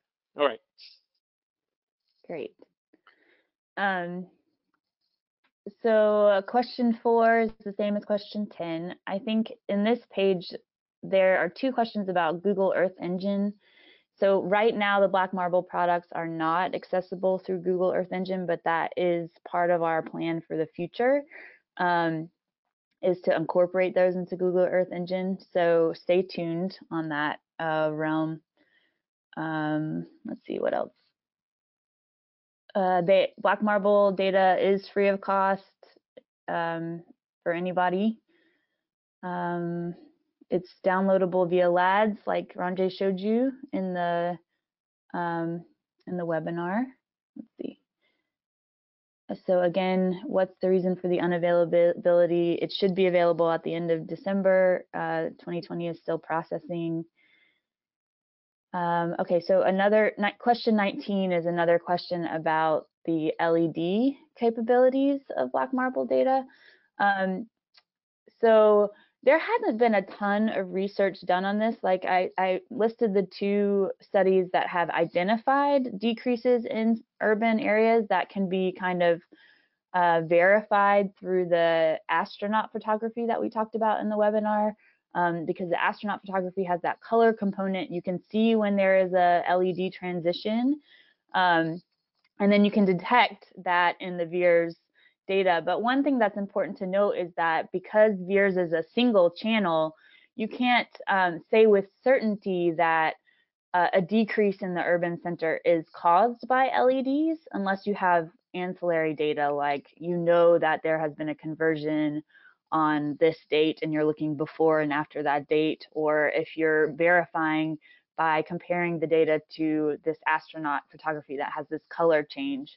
Um, and so, yes, so in terms of doing LED studies, it's important to realize that not all decreases are because of LEDs. Um, this this question about whether you could see a conversion from 3000 Kelvin to 4000 Kelvin LED, I would be quite skeptical because if those lights differ in the sort of sub 450 nanometer part of the light spectrum, VIIRS doesn't have any sensitivity in that range. Um, question 20, can you please show us how to open this data or is there any upcoming training related to processing such data? So this is the only um, training in this webinar series, but your homework has, um, and it, it, it, it's all about just downloading the data and using it to produce a time series. So hopefully that will help you feel more comfortable using the data. And we've also uh, posted below question 20, we've posted a link to converting the HDF5 format to GeoTIFF format, which is um, a format that a lot of users are more comfortable using. So check out that tool and um, work on the homework and hopefully you'll feel more comfortable using the data. Is it possible to download monthly annual composites? Not yet. Uh, we're hoping mid 2021 to sort of delve into the composite realm um, and produce these as a standard monthly or annual uh, time series product. So Kelly, can I can I jump in on that one? Yep. Everybody wants monthly and annual products. We get it. But let's let's let's talk about the daily because as we will teach you in this exercise, you can do whatever composite you want now with the daily. And this is very important because the monthly and annual, while it has been traditionally used to answer some questions about longer term trends, the daily is going to be a lot more powerful for the user community. Imagine now we're going to be able to, if you want, you can create a weekly versus a weekend composite of data. You can actually look at the, you know, periods where instead of that Western civilization 30 day calendar doesn't match the lunar calendar of other countries like in China. You know, if you're trying to study Chunyun, you can use a 30 day composite if it's not matching the lunar cycle. And so the daily is going to give you the freedom to generate a temporarily aggregated data set that it's fit to your scientific question, not just based on a random 30 day calendar. That's, that's just very important. We're going to try to help you understand the tools. In this way, you can create an average as you see appropriate how that daily can then be converted into a monthly. That's what we hope that you can do between now and then. Well, yeah, we'll, we'll also generate the 30 and annual. But please understand, you can generate your own 30-day products now. It's not that difficult. Um, and, and so we, the tools that we have developed, if you build upon those tools, you'll be able to access those 30-day and annual products right now. Um, so anyways.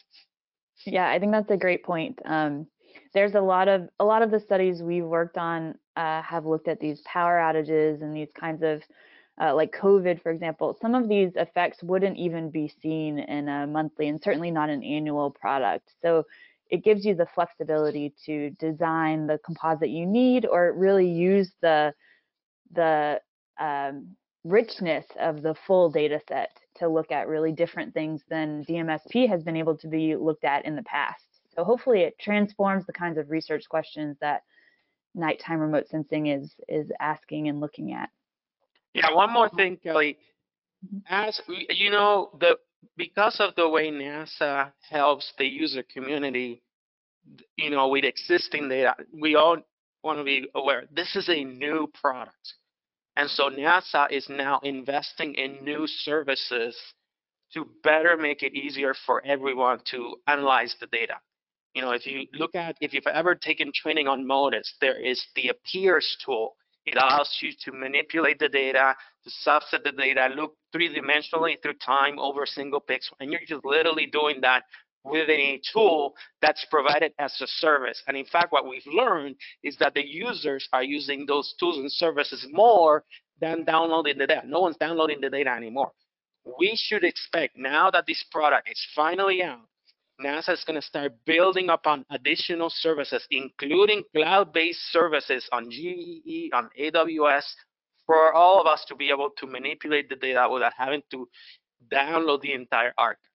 Uh, so all of this, you, we just need your patience because it's it's all rolling out as as you see it. So you guys are just being the first at looking at the data right Mm -hmm. Great. So question 23 is why is there a difference between the official and black marble data in slides 46?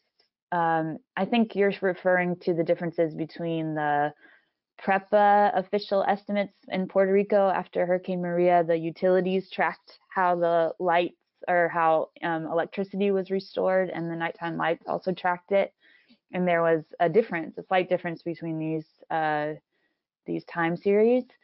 And so I, I talked about in that slide that part of the reason that that divergent divergence happens is that nighttime based estimates capture different things than the official reports. So they're mostly capturing street lights um, or exterior lighting.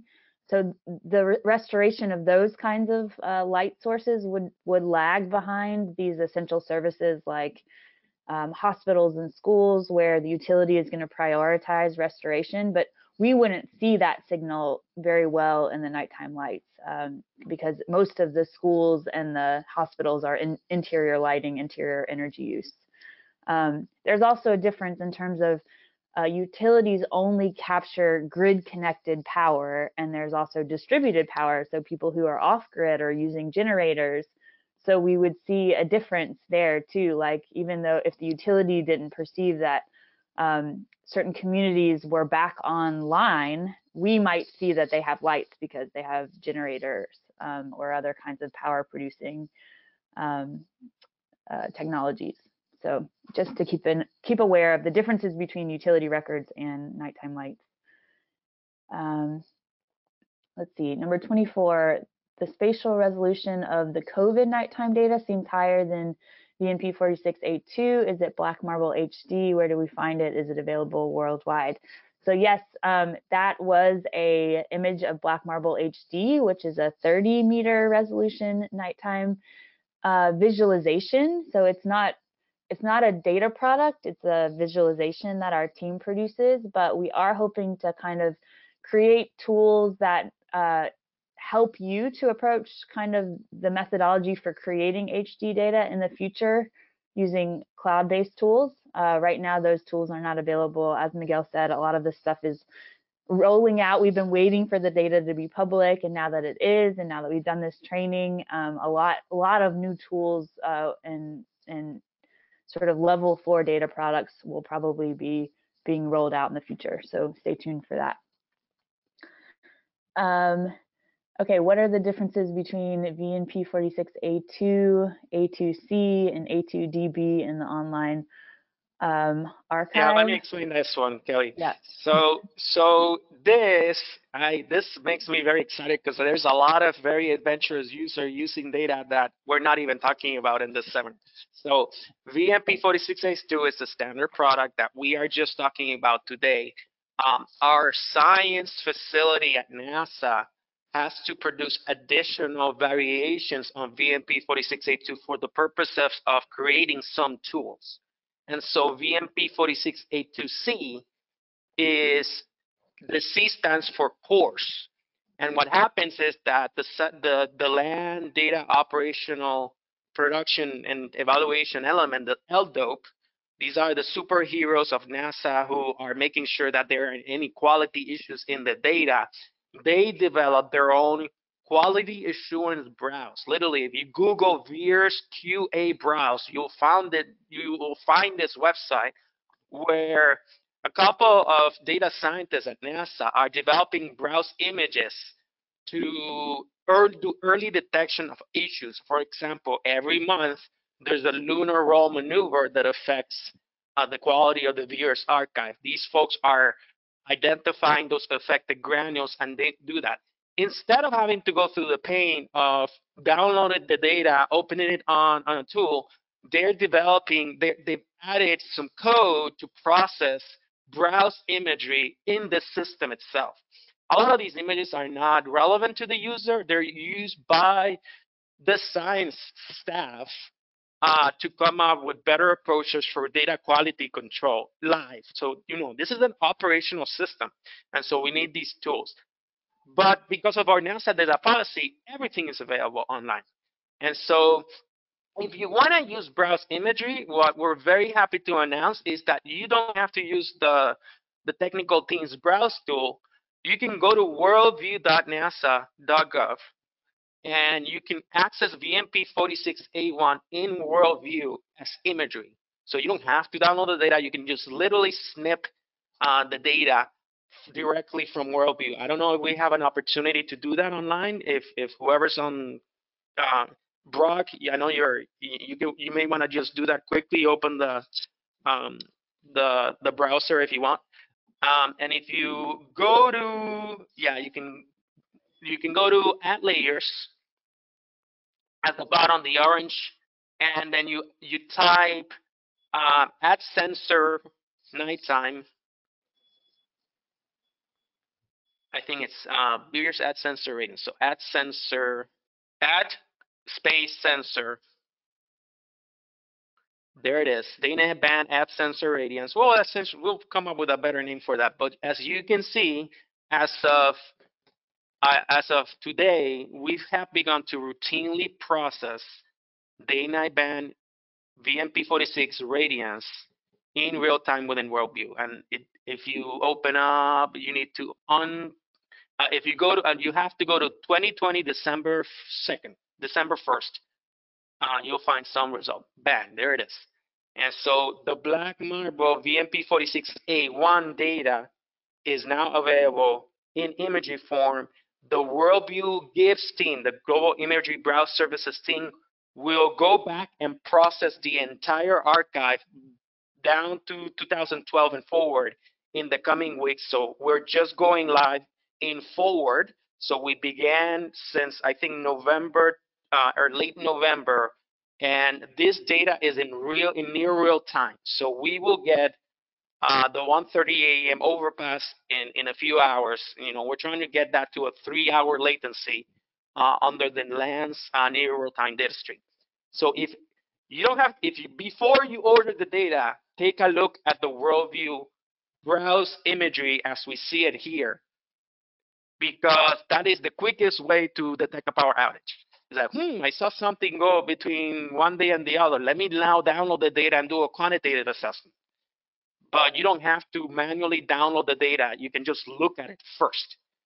And you can, you're gonna be able to do that through very long periods of time. The entire worldview archive, as you can see here, the time series, you'll be able to do a so all set of manipulations. And there's several ARSET uh, webinars that do this as well. All right. Okay, let's go back to Q&A. And I think we were at 20 something. We're at 27, and actually, you could take 27 and 29 if you want, because I think okay. you're better suited. All right, so let's talk about calibration. We we spoke. I spoke about this uh, um, um, in a few questions back. Um, please look at the official day-night band NASA Level One product ATBD. It has a very definitive assessment of how the calibration of the DNB is performed. There is there are multiple references, including a solar uh, diffuser, uh, black body. We also look at space view, and we look at the moon on a monthly basis. And in addition to that, there's a, a, a, a mutually agreed upon calibration approach to look at dark ocean waters over moon-free nights over the Pacific as a consistent calibration method. All that is is then used to create FLUT, FLUTs or lookup lookup tables, um, and that is then implemented into the reprocessing. Those radiances are done that. In addition to that, uh, that doesn't even include all the efforts to improve the geolocation, uh, particularly over high terrain. There's terrain corrected, geolocated um, on information that you can find in a separate file, and those are accessible. Um, and the and the ATBD has a nice table describing each and every one of the air science data types, the different file types for this. And on top of that, remember, we have two different birds. We have Suomi NPP and NOAA 20. And the, while the calibration is similar to them, their the instrument, how they behave is different. NOAA 20 is, is seems to be a little more stable, but tends to be a tiny bit brighter than Suomi NPP. Or I may be having that backwards, but that's, you know, so from a, a lot of research still needs to be done to ensure harmonization of the calibration between the two VIIRS instruments. And that is still uh, something that the entire science team uh, for NASA and NOAA are still working on. All right. Uh, 20, we skipped 29, 28. What data is used to fill gaps in the gap fill lane? Well, we're not to answer that. um, I can answer that one quickly. The, please look at the ATBD. We're using, as, as Kelly mentioned, the most recently available highest quality dates, and we have a flag that tells you how far ahead, uh, uh, away of time are we going. So if you're looking at a gap fill value, that value may have been collected 30 days prior to the present day.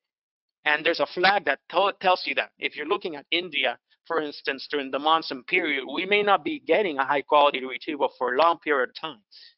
And in the very tough case where there's no data for a very long period of time, we also employ uh, some additional correction routines. Um, and we're always waiting, waiting uh, the most recent period of acquisition to try to get you as close uh, nighttime value as possible to present day. But regardless, um, you know, there's clouds, and um, yeah, so that's that's word that's where currently that's a current approach. Um, do you know when the annual this was addressed? Also, we're looking at, you know, the main thing, as I said, is you can already do temporal composites with the daily, and in in in the meantime. And in the future, yes, we will generate monthly and annual products. And the monthly products will also be available in near real time. And we want to do that uh, because that way you can use monthly data as a baseline for any kind of disaster applications that would require a baseline to detect anomalies on a daily basis. And then what else? How do you change the lat long in the script? This is uh, as Ranjay pointed, uh, there is a variable, the lat and long variable on line 18 and 19.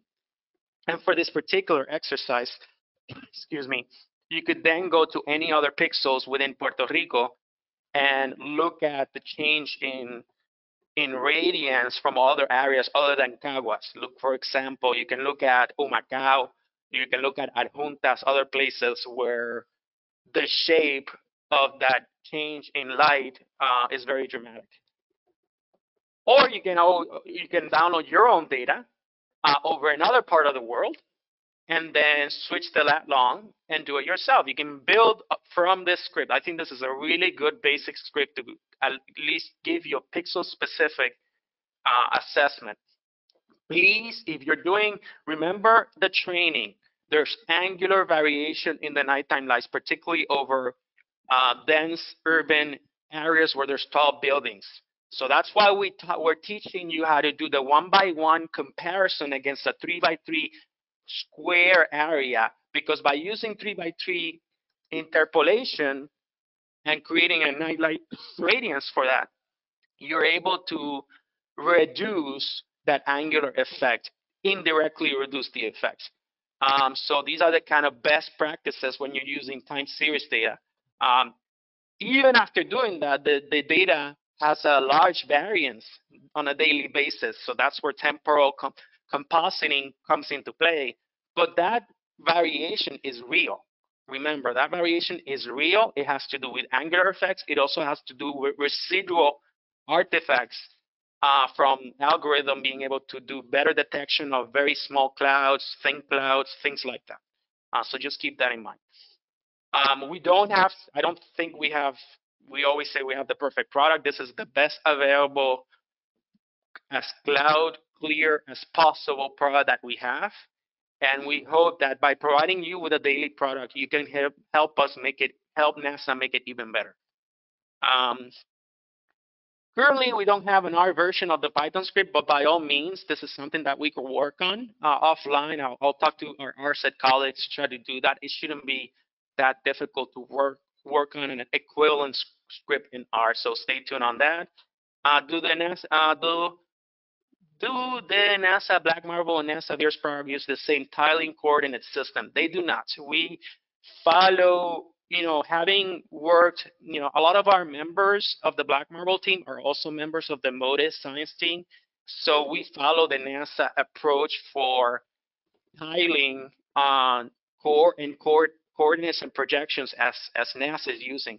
Uh, one decision that we made early when we developed this, since this was a new product, we weren't extending the product from MODIS, is we decided to change the projection from sinusoidal to linear lat, lawn or geographic projection.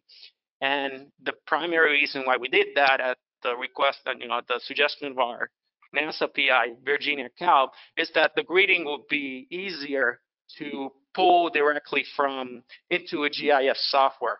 And anyone who has worked with sinusoidal projection will know that first you have to order the data to be reprojected to linear to geographic or through other more compatible um, we're not going to have to worry about that here. And, and I think hopefully that saves some time to the users who are actually manipulating the, the data directly uh, uh, from, from their computers. Um, and so we're explaining, we've explained how, what is this kind of new tiling approach? Um, and you can find more information in, in, in section 3.3 of our user's guide in terms of how the grading algorithms uh, work to generate this, this, this projection.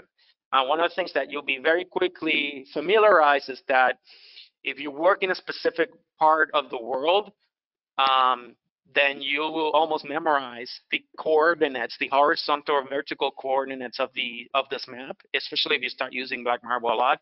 Like I can tell you, like H65, California, H29V5, China.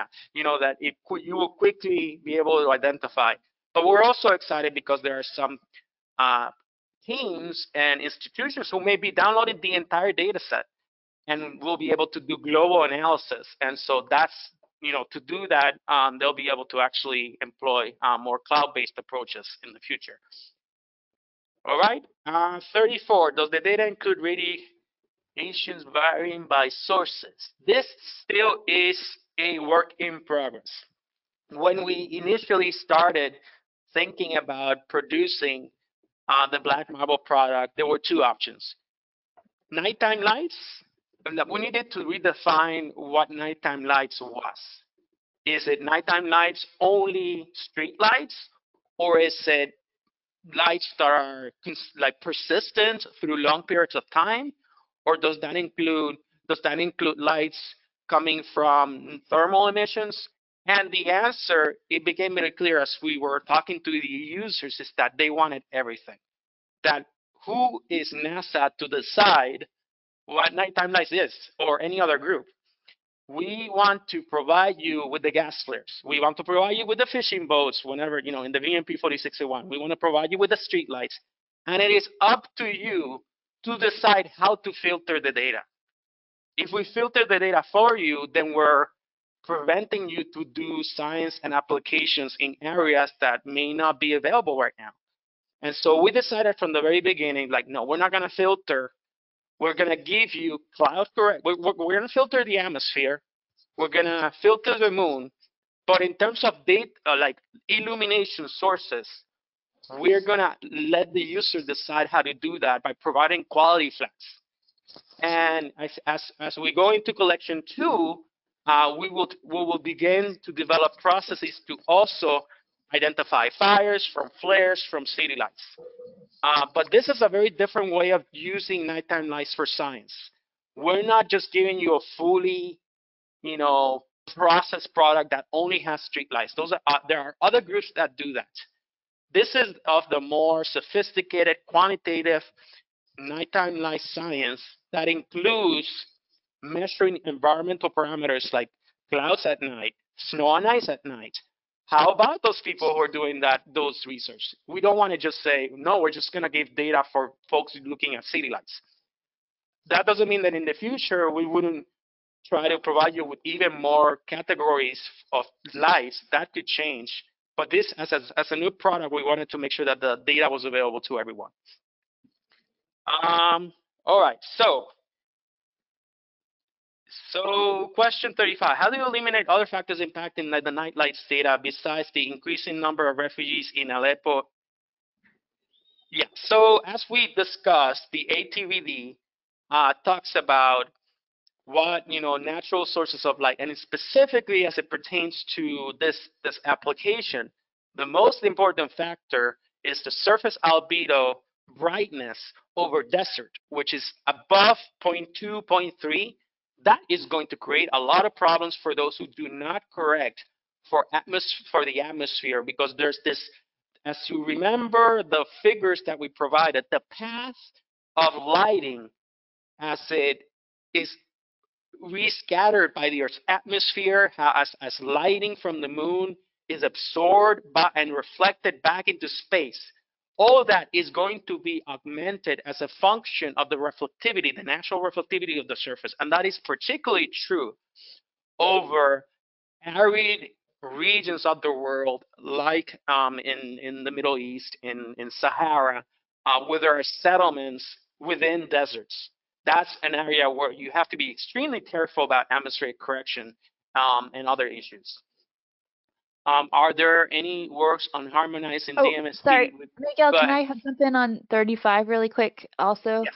Um, just because I don't think we've mentioned too that there's a lot of non-natural um, sources and things that can influence lights. Um, so the algorithm doesn't correct for any of those. For example, during COVID, we also had the festival of Ramadan happening throughout the Middle East, and that that significantly um, changes the radiance we see over cities because people are awake at night uh, late, so their whole um, time schedule for their activities changes, and we have a whole paper about how uh, much the radiance changes based on Ramadan. So there's lots of things that go into um, influencing the light signal. And so it's important to realize that when you're trying to pull out a single variable like population change, you need to bring in uh, control variables from ancillary data to control for all of these other things.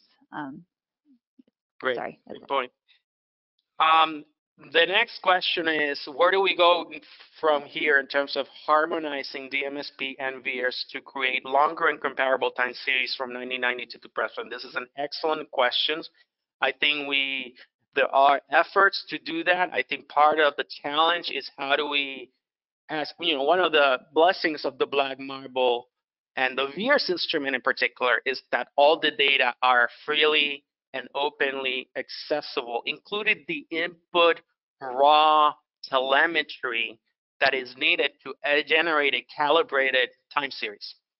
Um, and that does not seem to be the case for DMSP. You got you got the you got some monthly data, some annual composites, and then there are ways for us to backtrack and try to do the calibration at least um, in how do you say um, not in absolute term but in relative sense you you either take a, one of the healthier DMSP instruments you treat it as reference and then you try to create that as the reference as the truth as the quote unquote truth from others so there's been a lot of work um, in trying to harmonize that uh, work by Dr. Yu Yusu over um, and and for instance um, and and we're we're we're we're putting some reference here for you to see how to do that we are really just focused on VIIRS um, right now, but yeah, that that's as we the generation of long-term data records spanning multiple instruments and the harmonization of that is still something that's along the state of the art,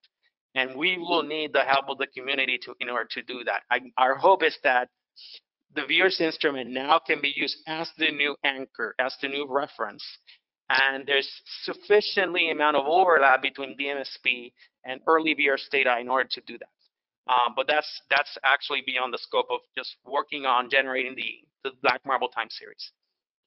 Um, Brock, let me know. We're we're about five minutes over, but let me know when to stop. Okay. Um, I have a question about using Black Marble data products or studying and changing night lights during COVID. Since the product is not available for download through that stack, oh, I lost it. um, where yes, for this time, are the are the VNP46A1 products an adequate substitute? The answer is depends on the application context. Um, some of if you're just doing sort of like situational awareness of looking at features that are disappearing or like you know then yeah VNP46A1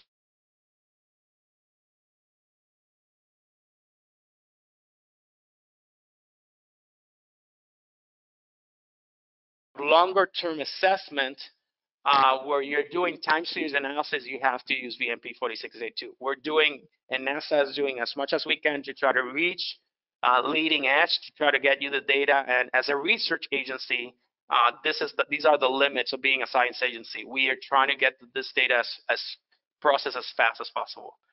Um, do I still need to observe the temporal aspect when I want to compare night between two days to ensure the sensor angles is the same? That depends on what you're looking at. If you're looking at a suburb uh, where the consistency, the consistency in night light radiance tends to be more stable regardless of angle, then it may not matter as much.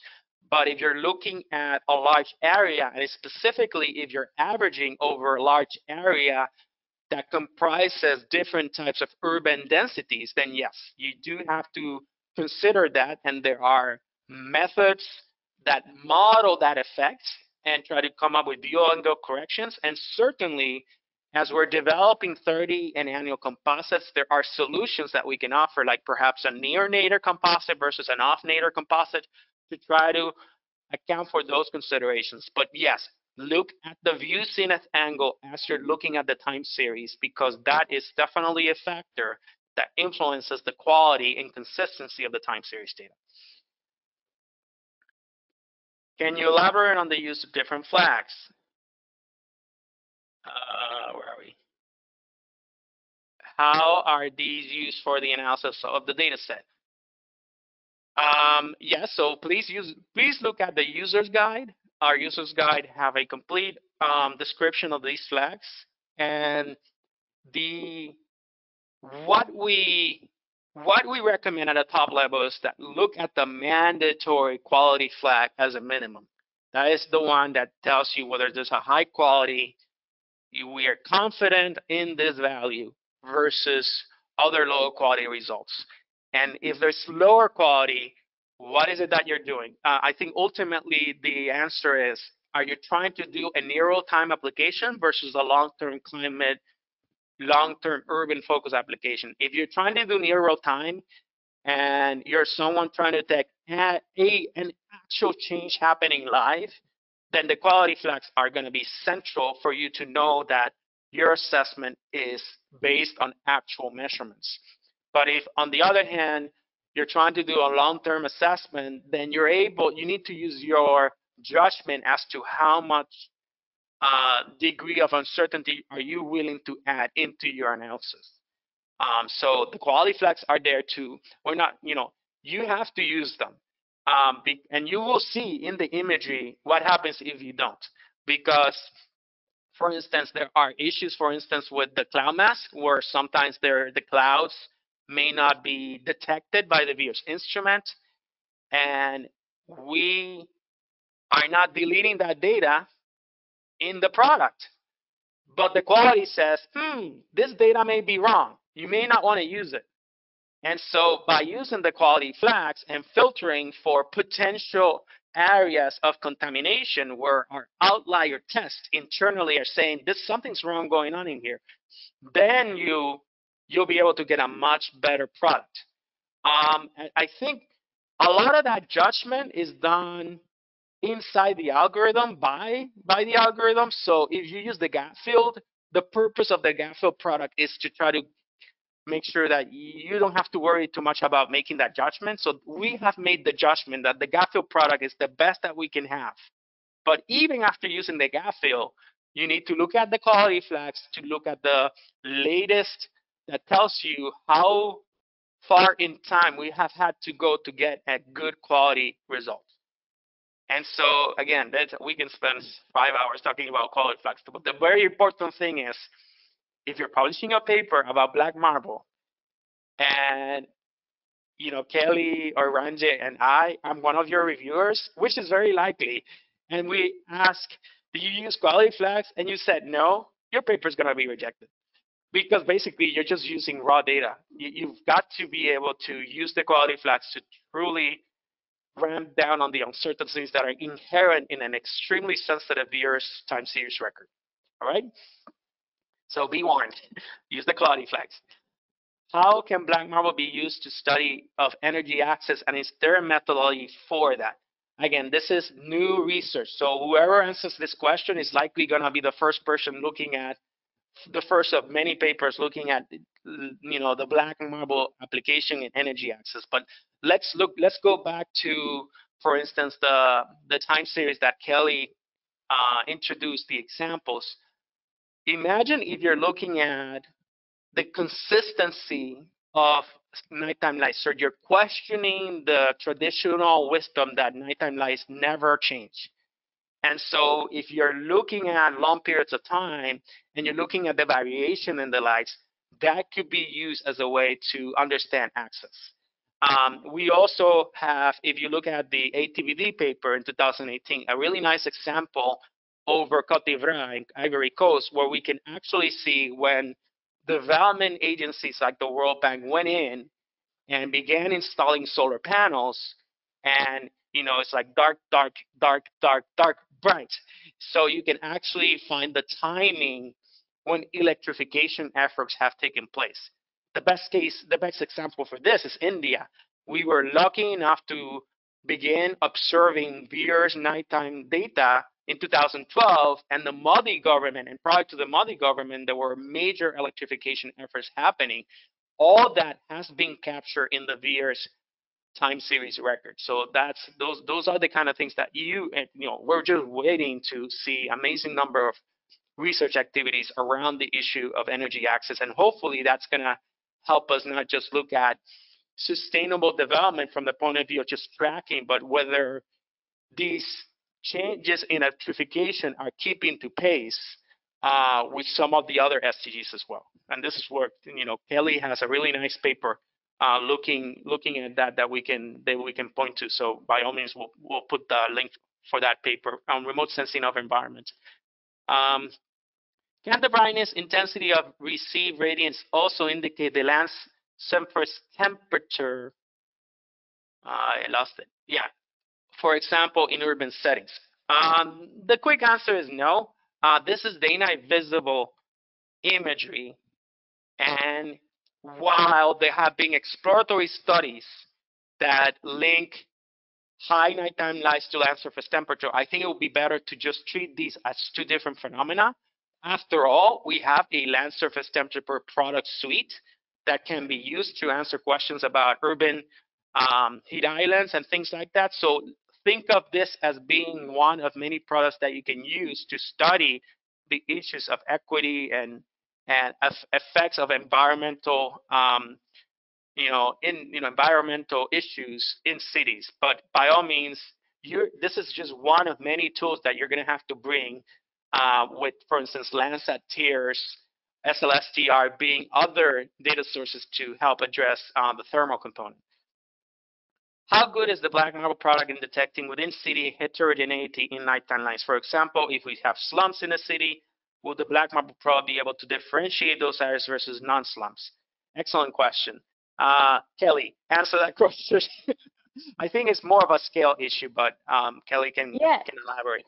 Yep, you can you can definitely see light differences on the scale of slums, but most slums are less than like the one kilometer square kilometer range spatially. So uh, you can't make out differences within the slums. It's usually like a one pixel kind of area that you're looking at. Um, and we also suggest if you're doing like sort of slum mapping kind of things that you combine this with other daytime data that has higher spatial resolution um, and then also data about people and about the land so that you can get a better understanding of whether these low light areas within cities are slums or whether they're just you know fields or whatever so um, that you can I, will attach the paper that we use to look at informal settlements um, using VIIRS uh, in this question. All right. Um, let's see. Is the calibration differs from collections? Could we still compare collections between them? I would not recommend you do that. Collections are meant to create a marker between the, it's almost like anyone using Windows or OS, when there's a service pack and your software and operating system is upgraded, this question is almost like asking, can I use an older version of a security patch with a new version of a, you don't do that. You don't want to mix that. When we do a new collection, the proper procedure is to move on and use the first collection. Now, if you already started research um, and you're right in the middle of publishing a paper using collection one, just finish it. But even within NASA, we're trying to go through collections, and once the full collection two is fully processed for the entire historical archive, we're going to give the users one year, and then collection one will be deleted. And so those uh, now now that's if you're doing science, that's my recommendation. If you want to help us, the science teams, to determine the differences between collection one and collection two for diagnostic purposes, to say, oh yeah, look, now it looks like now VIIRS is less cloudy than before because the cloud mask improved dramatically in collection two. There are people who are doing papers like that. These are remote sensing quantitative papers helping understand algorithm refinements and incremental improvements to the data.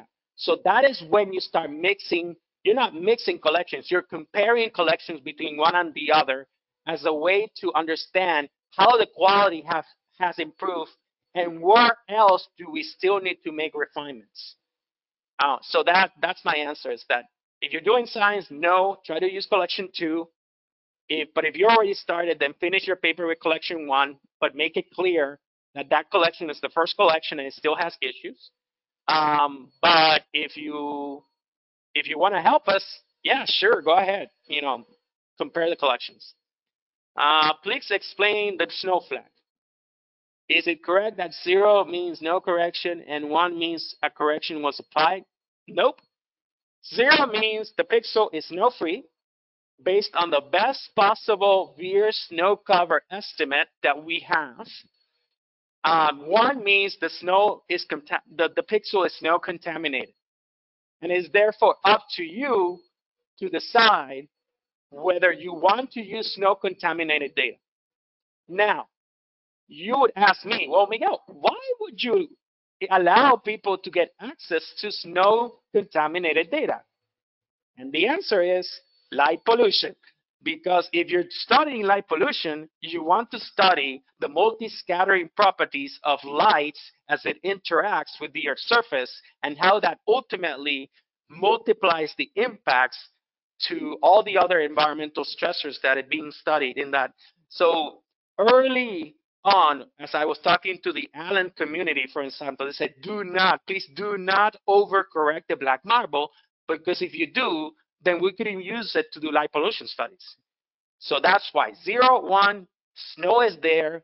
Our, our product tries to be as snow-free as possible. And so if it's snow contaminated, it doesn't get put in the gas field but if you want to see that data, you still have access to that data if you want to do it for your applications. Hopes, hopes that makes sense. Uh, do you have advice and guidance on using the A1 product, which is not corrected for lunar illumination and atmospheric effects? Um, that product is the product that keeps the NASA science team honest. Does that make sense? If you say, man, this VNP46A2, I don't like it. I think I can make a better product than use VNP46A1. VNP46A1 is the product that helps us ensure that you can reproduce the results in VNP46A2. It has all the, this is a large file. It has all the view angles. It has all the content associated with the lunar uh, state, both in terms of phase, libration, lunar irradiance, It has additional quality flags. For instance, those looking at fishing vessels, it has a glint angle uh, so that you can stay away from areas where the moon can affect um, the ocean signal, as Kelly noted. This is very important. If you're working on a research study and 50 years from now, someone wants to recreate your study, NASA is going to have to figure out a way to reproduce those results in the archive. And VNP 46A1 was a requirement for us to ensure reproducibility of the Black Marble Nighttime Lights algorithm, right? So for all those heavy, heavy users who have developed Nighttime Lights products, this is our gift to you. You don't have to go use the raw data in swath format, do the reprojection, think about a gridding approach, and you know it's going to take you eight years to do all that. We're saving you eight years of data processing research on how to develop the algorithms, how to think about the calibration, all that. You can literally, as, as, as Brock show you, look at the data in WorldView. And the data in itself is the package that needed to build new nighttime lights products in the future.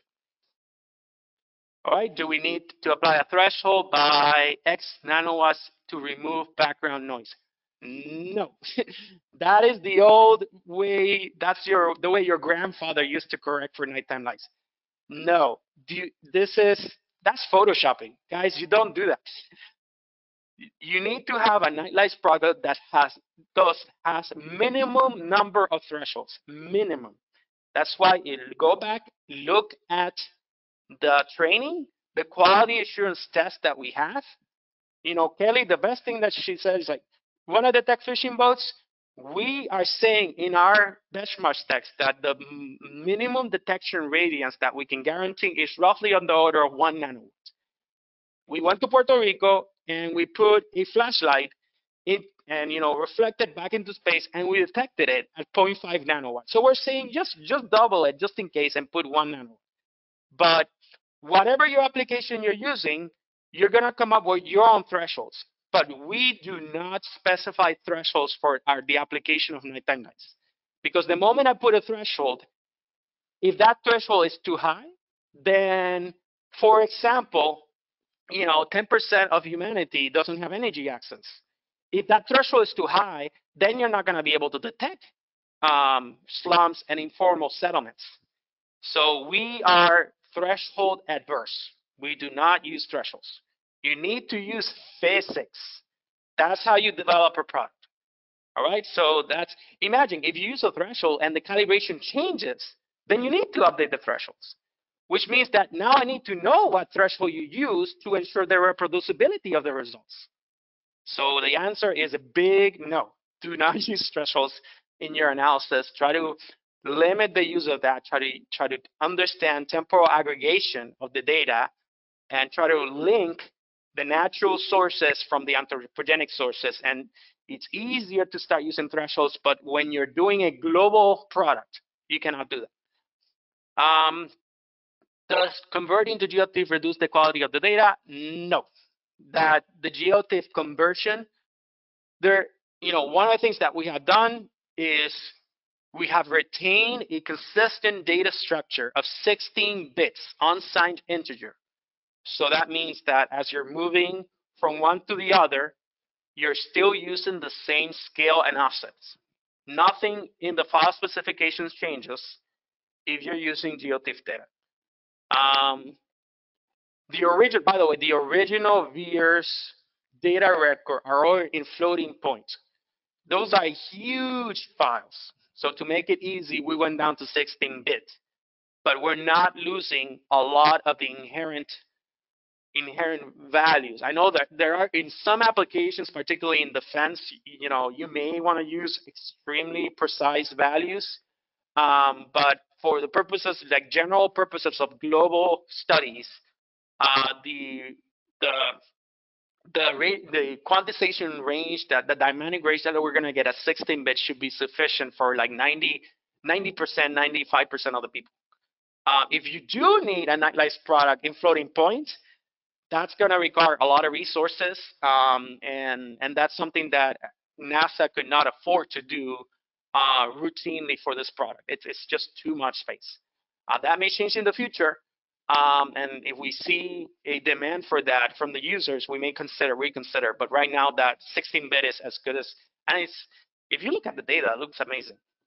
Uh, is there a way to filter results for VNP 46A2 data in LAADS by cloud cover or other quality parameters? That is that I owe you that one. That is that's a tool just like AppEEARS in LP DAAC. Eventually, we will be able to integrate web services that allows you to get at the pixel level with specific quality constraints. Uh, but this being a new product, that is still a work in progress. I'm not aware of any such filter parameters. If you have any technical, okay, sorry, I'm just, and I think we've kept up 48 questions. We still have a lot of people online. Um, any, any anything else?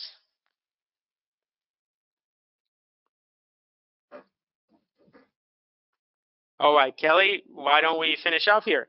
Yeah. So um, thank you again for joining us. I think um, we have uh, distributed both mine and Ranjay's emails in case there are additional questions. Um, we have posted the homework on the website for you to complete, and you're going to have two weeks to complete it. So it's due on December 17th. And once you complete it, we can get, or ARSET can get you your certificate. So I just wanted to thank everyone again for participating. Um, thank you to ARSET for your exceptional organization and to Ranjay for joining me to present and of course to Miguel for adding all of the richness in the Q&A session. So um, I hope you guys all have a great rest of your day. Thanks. Thank you again.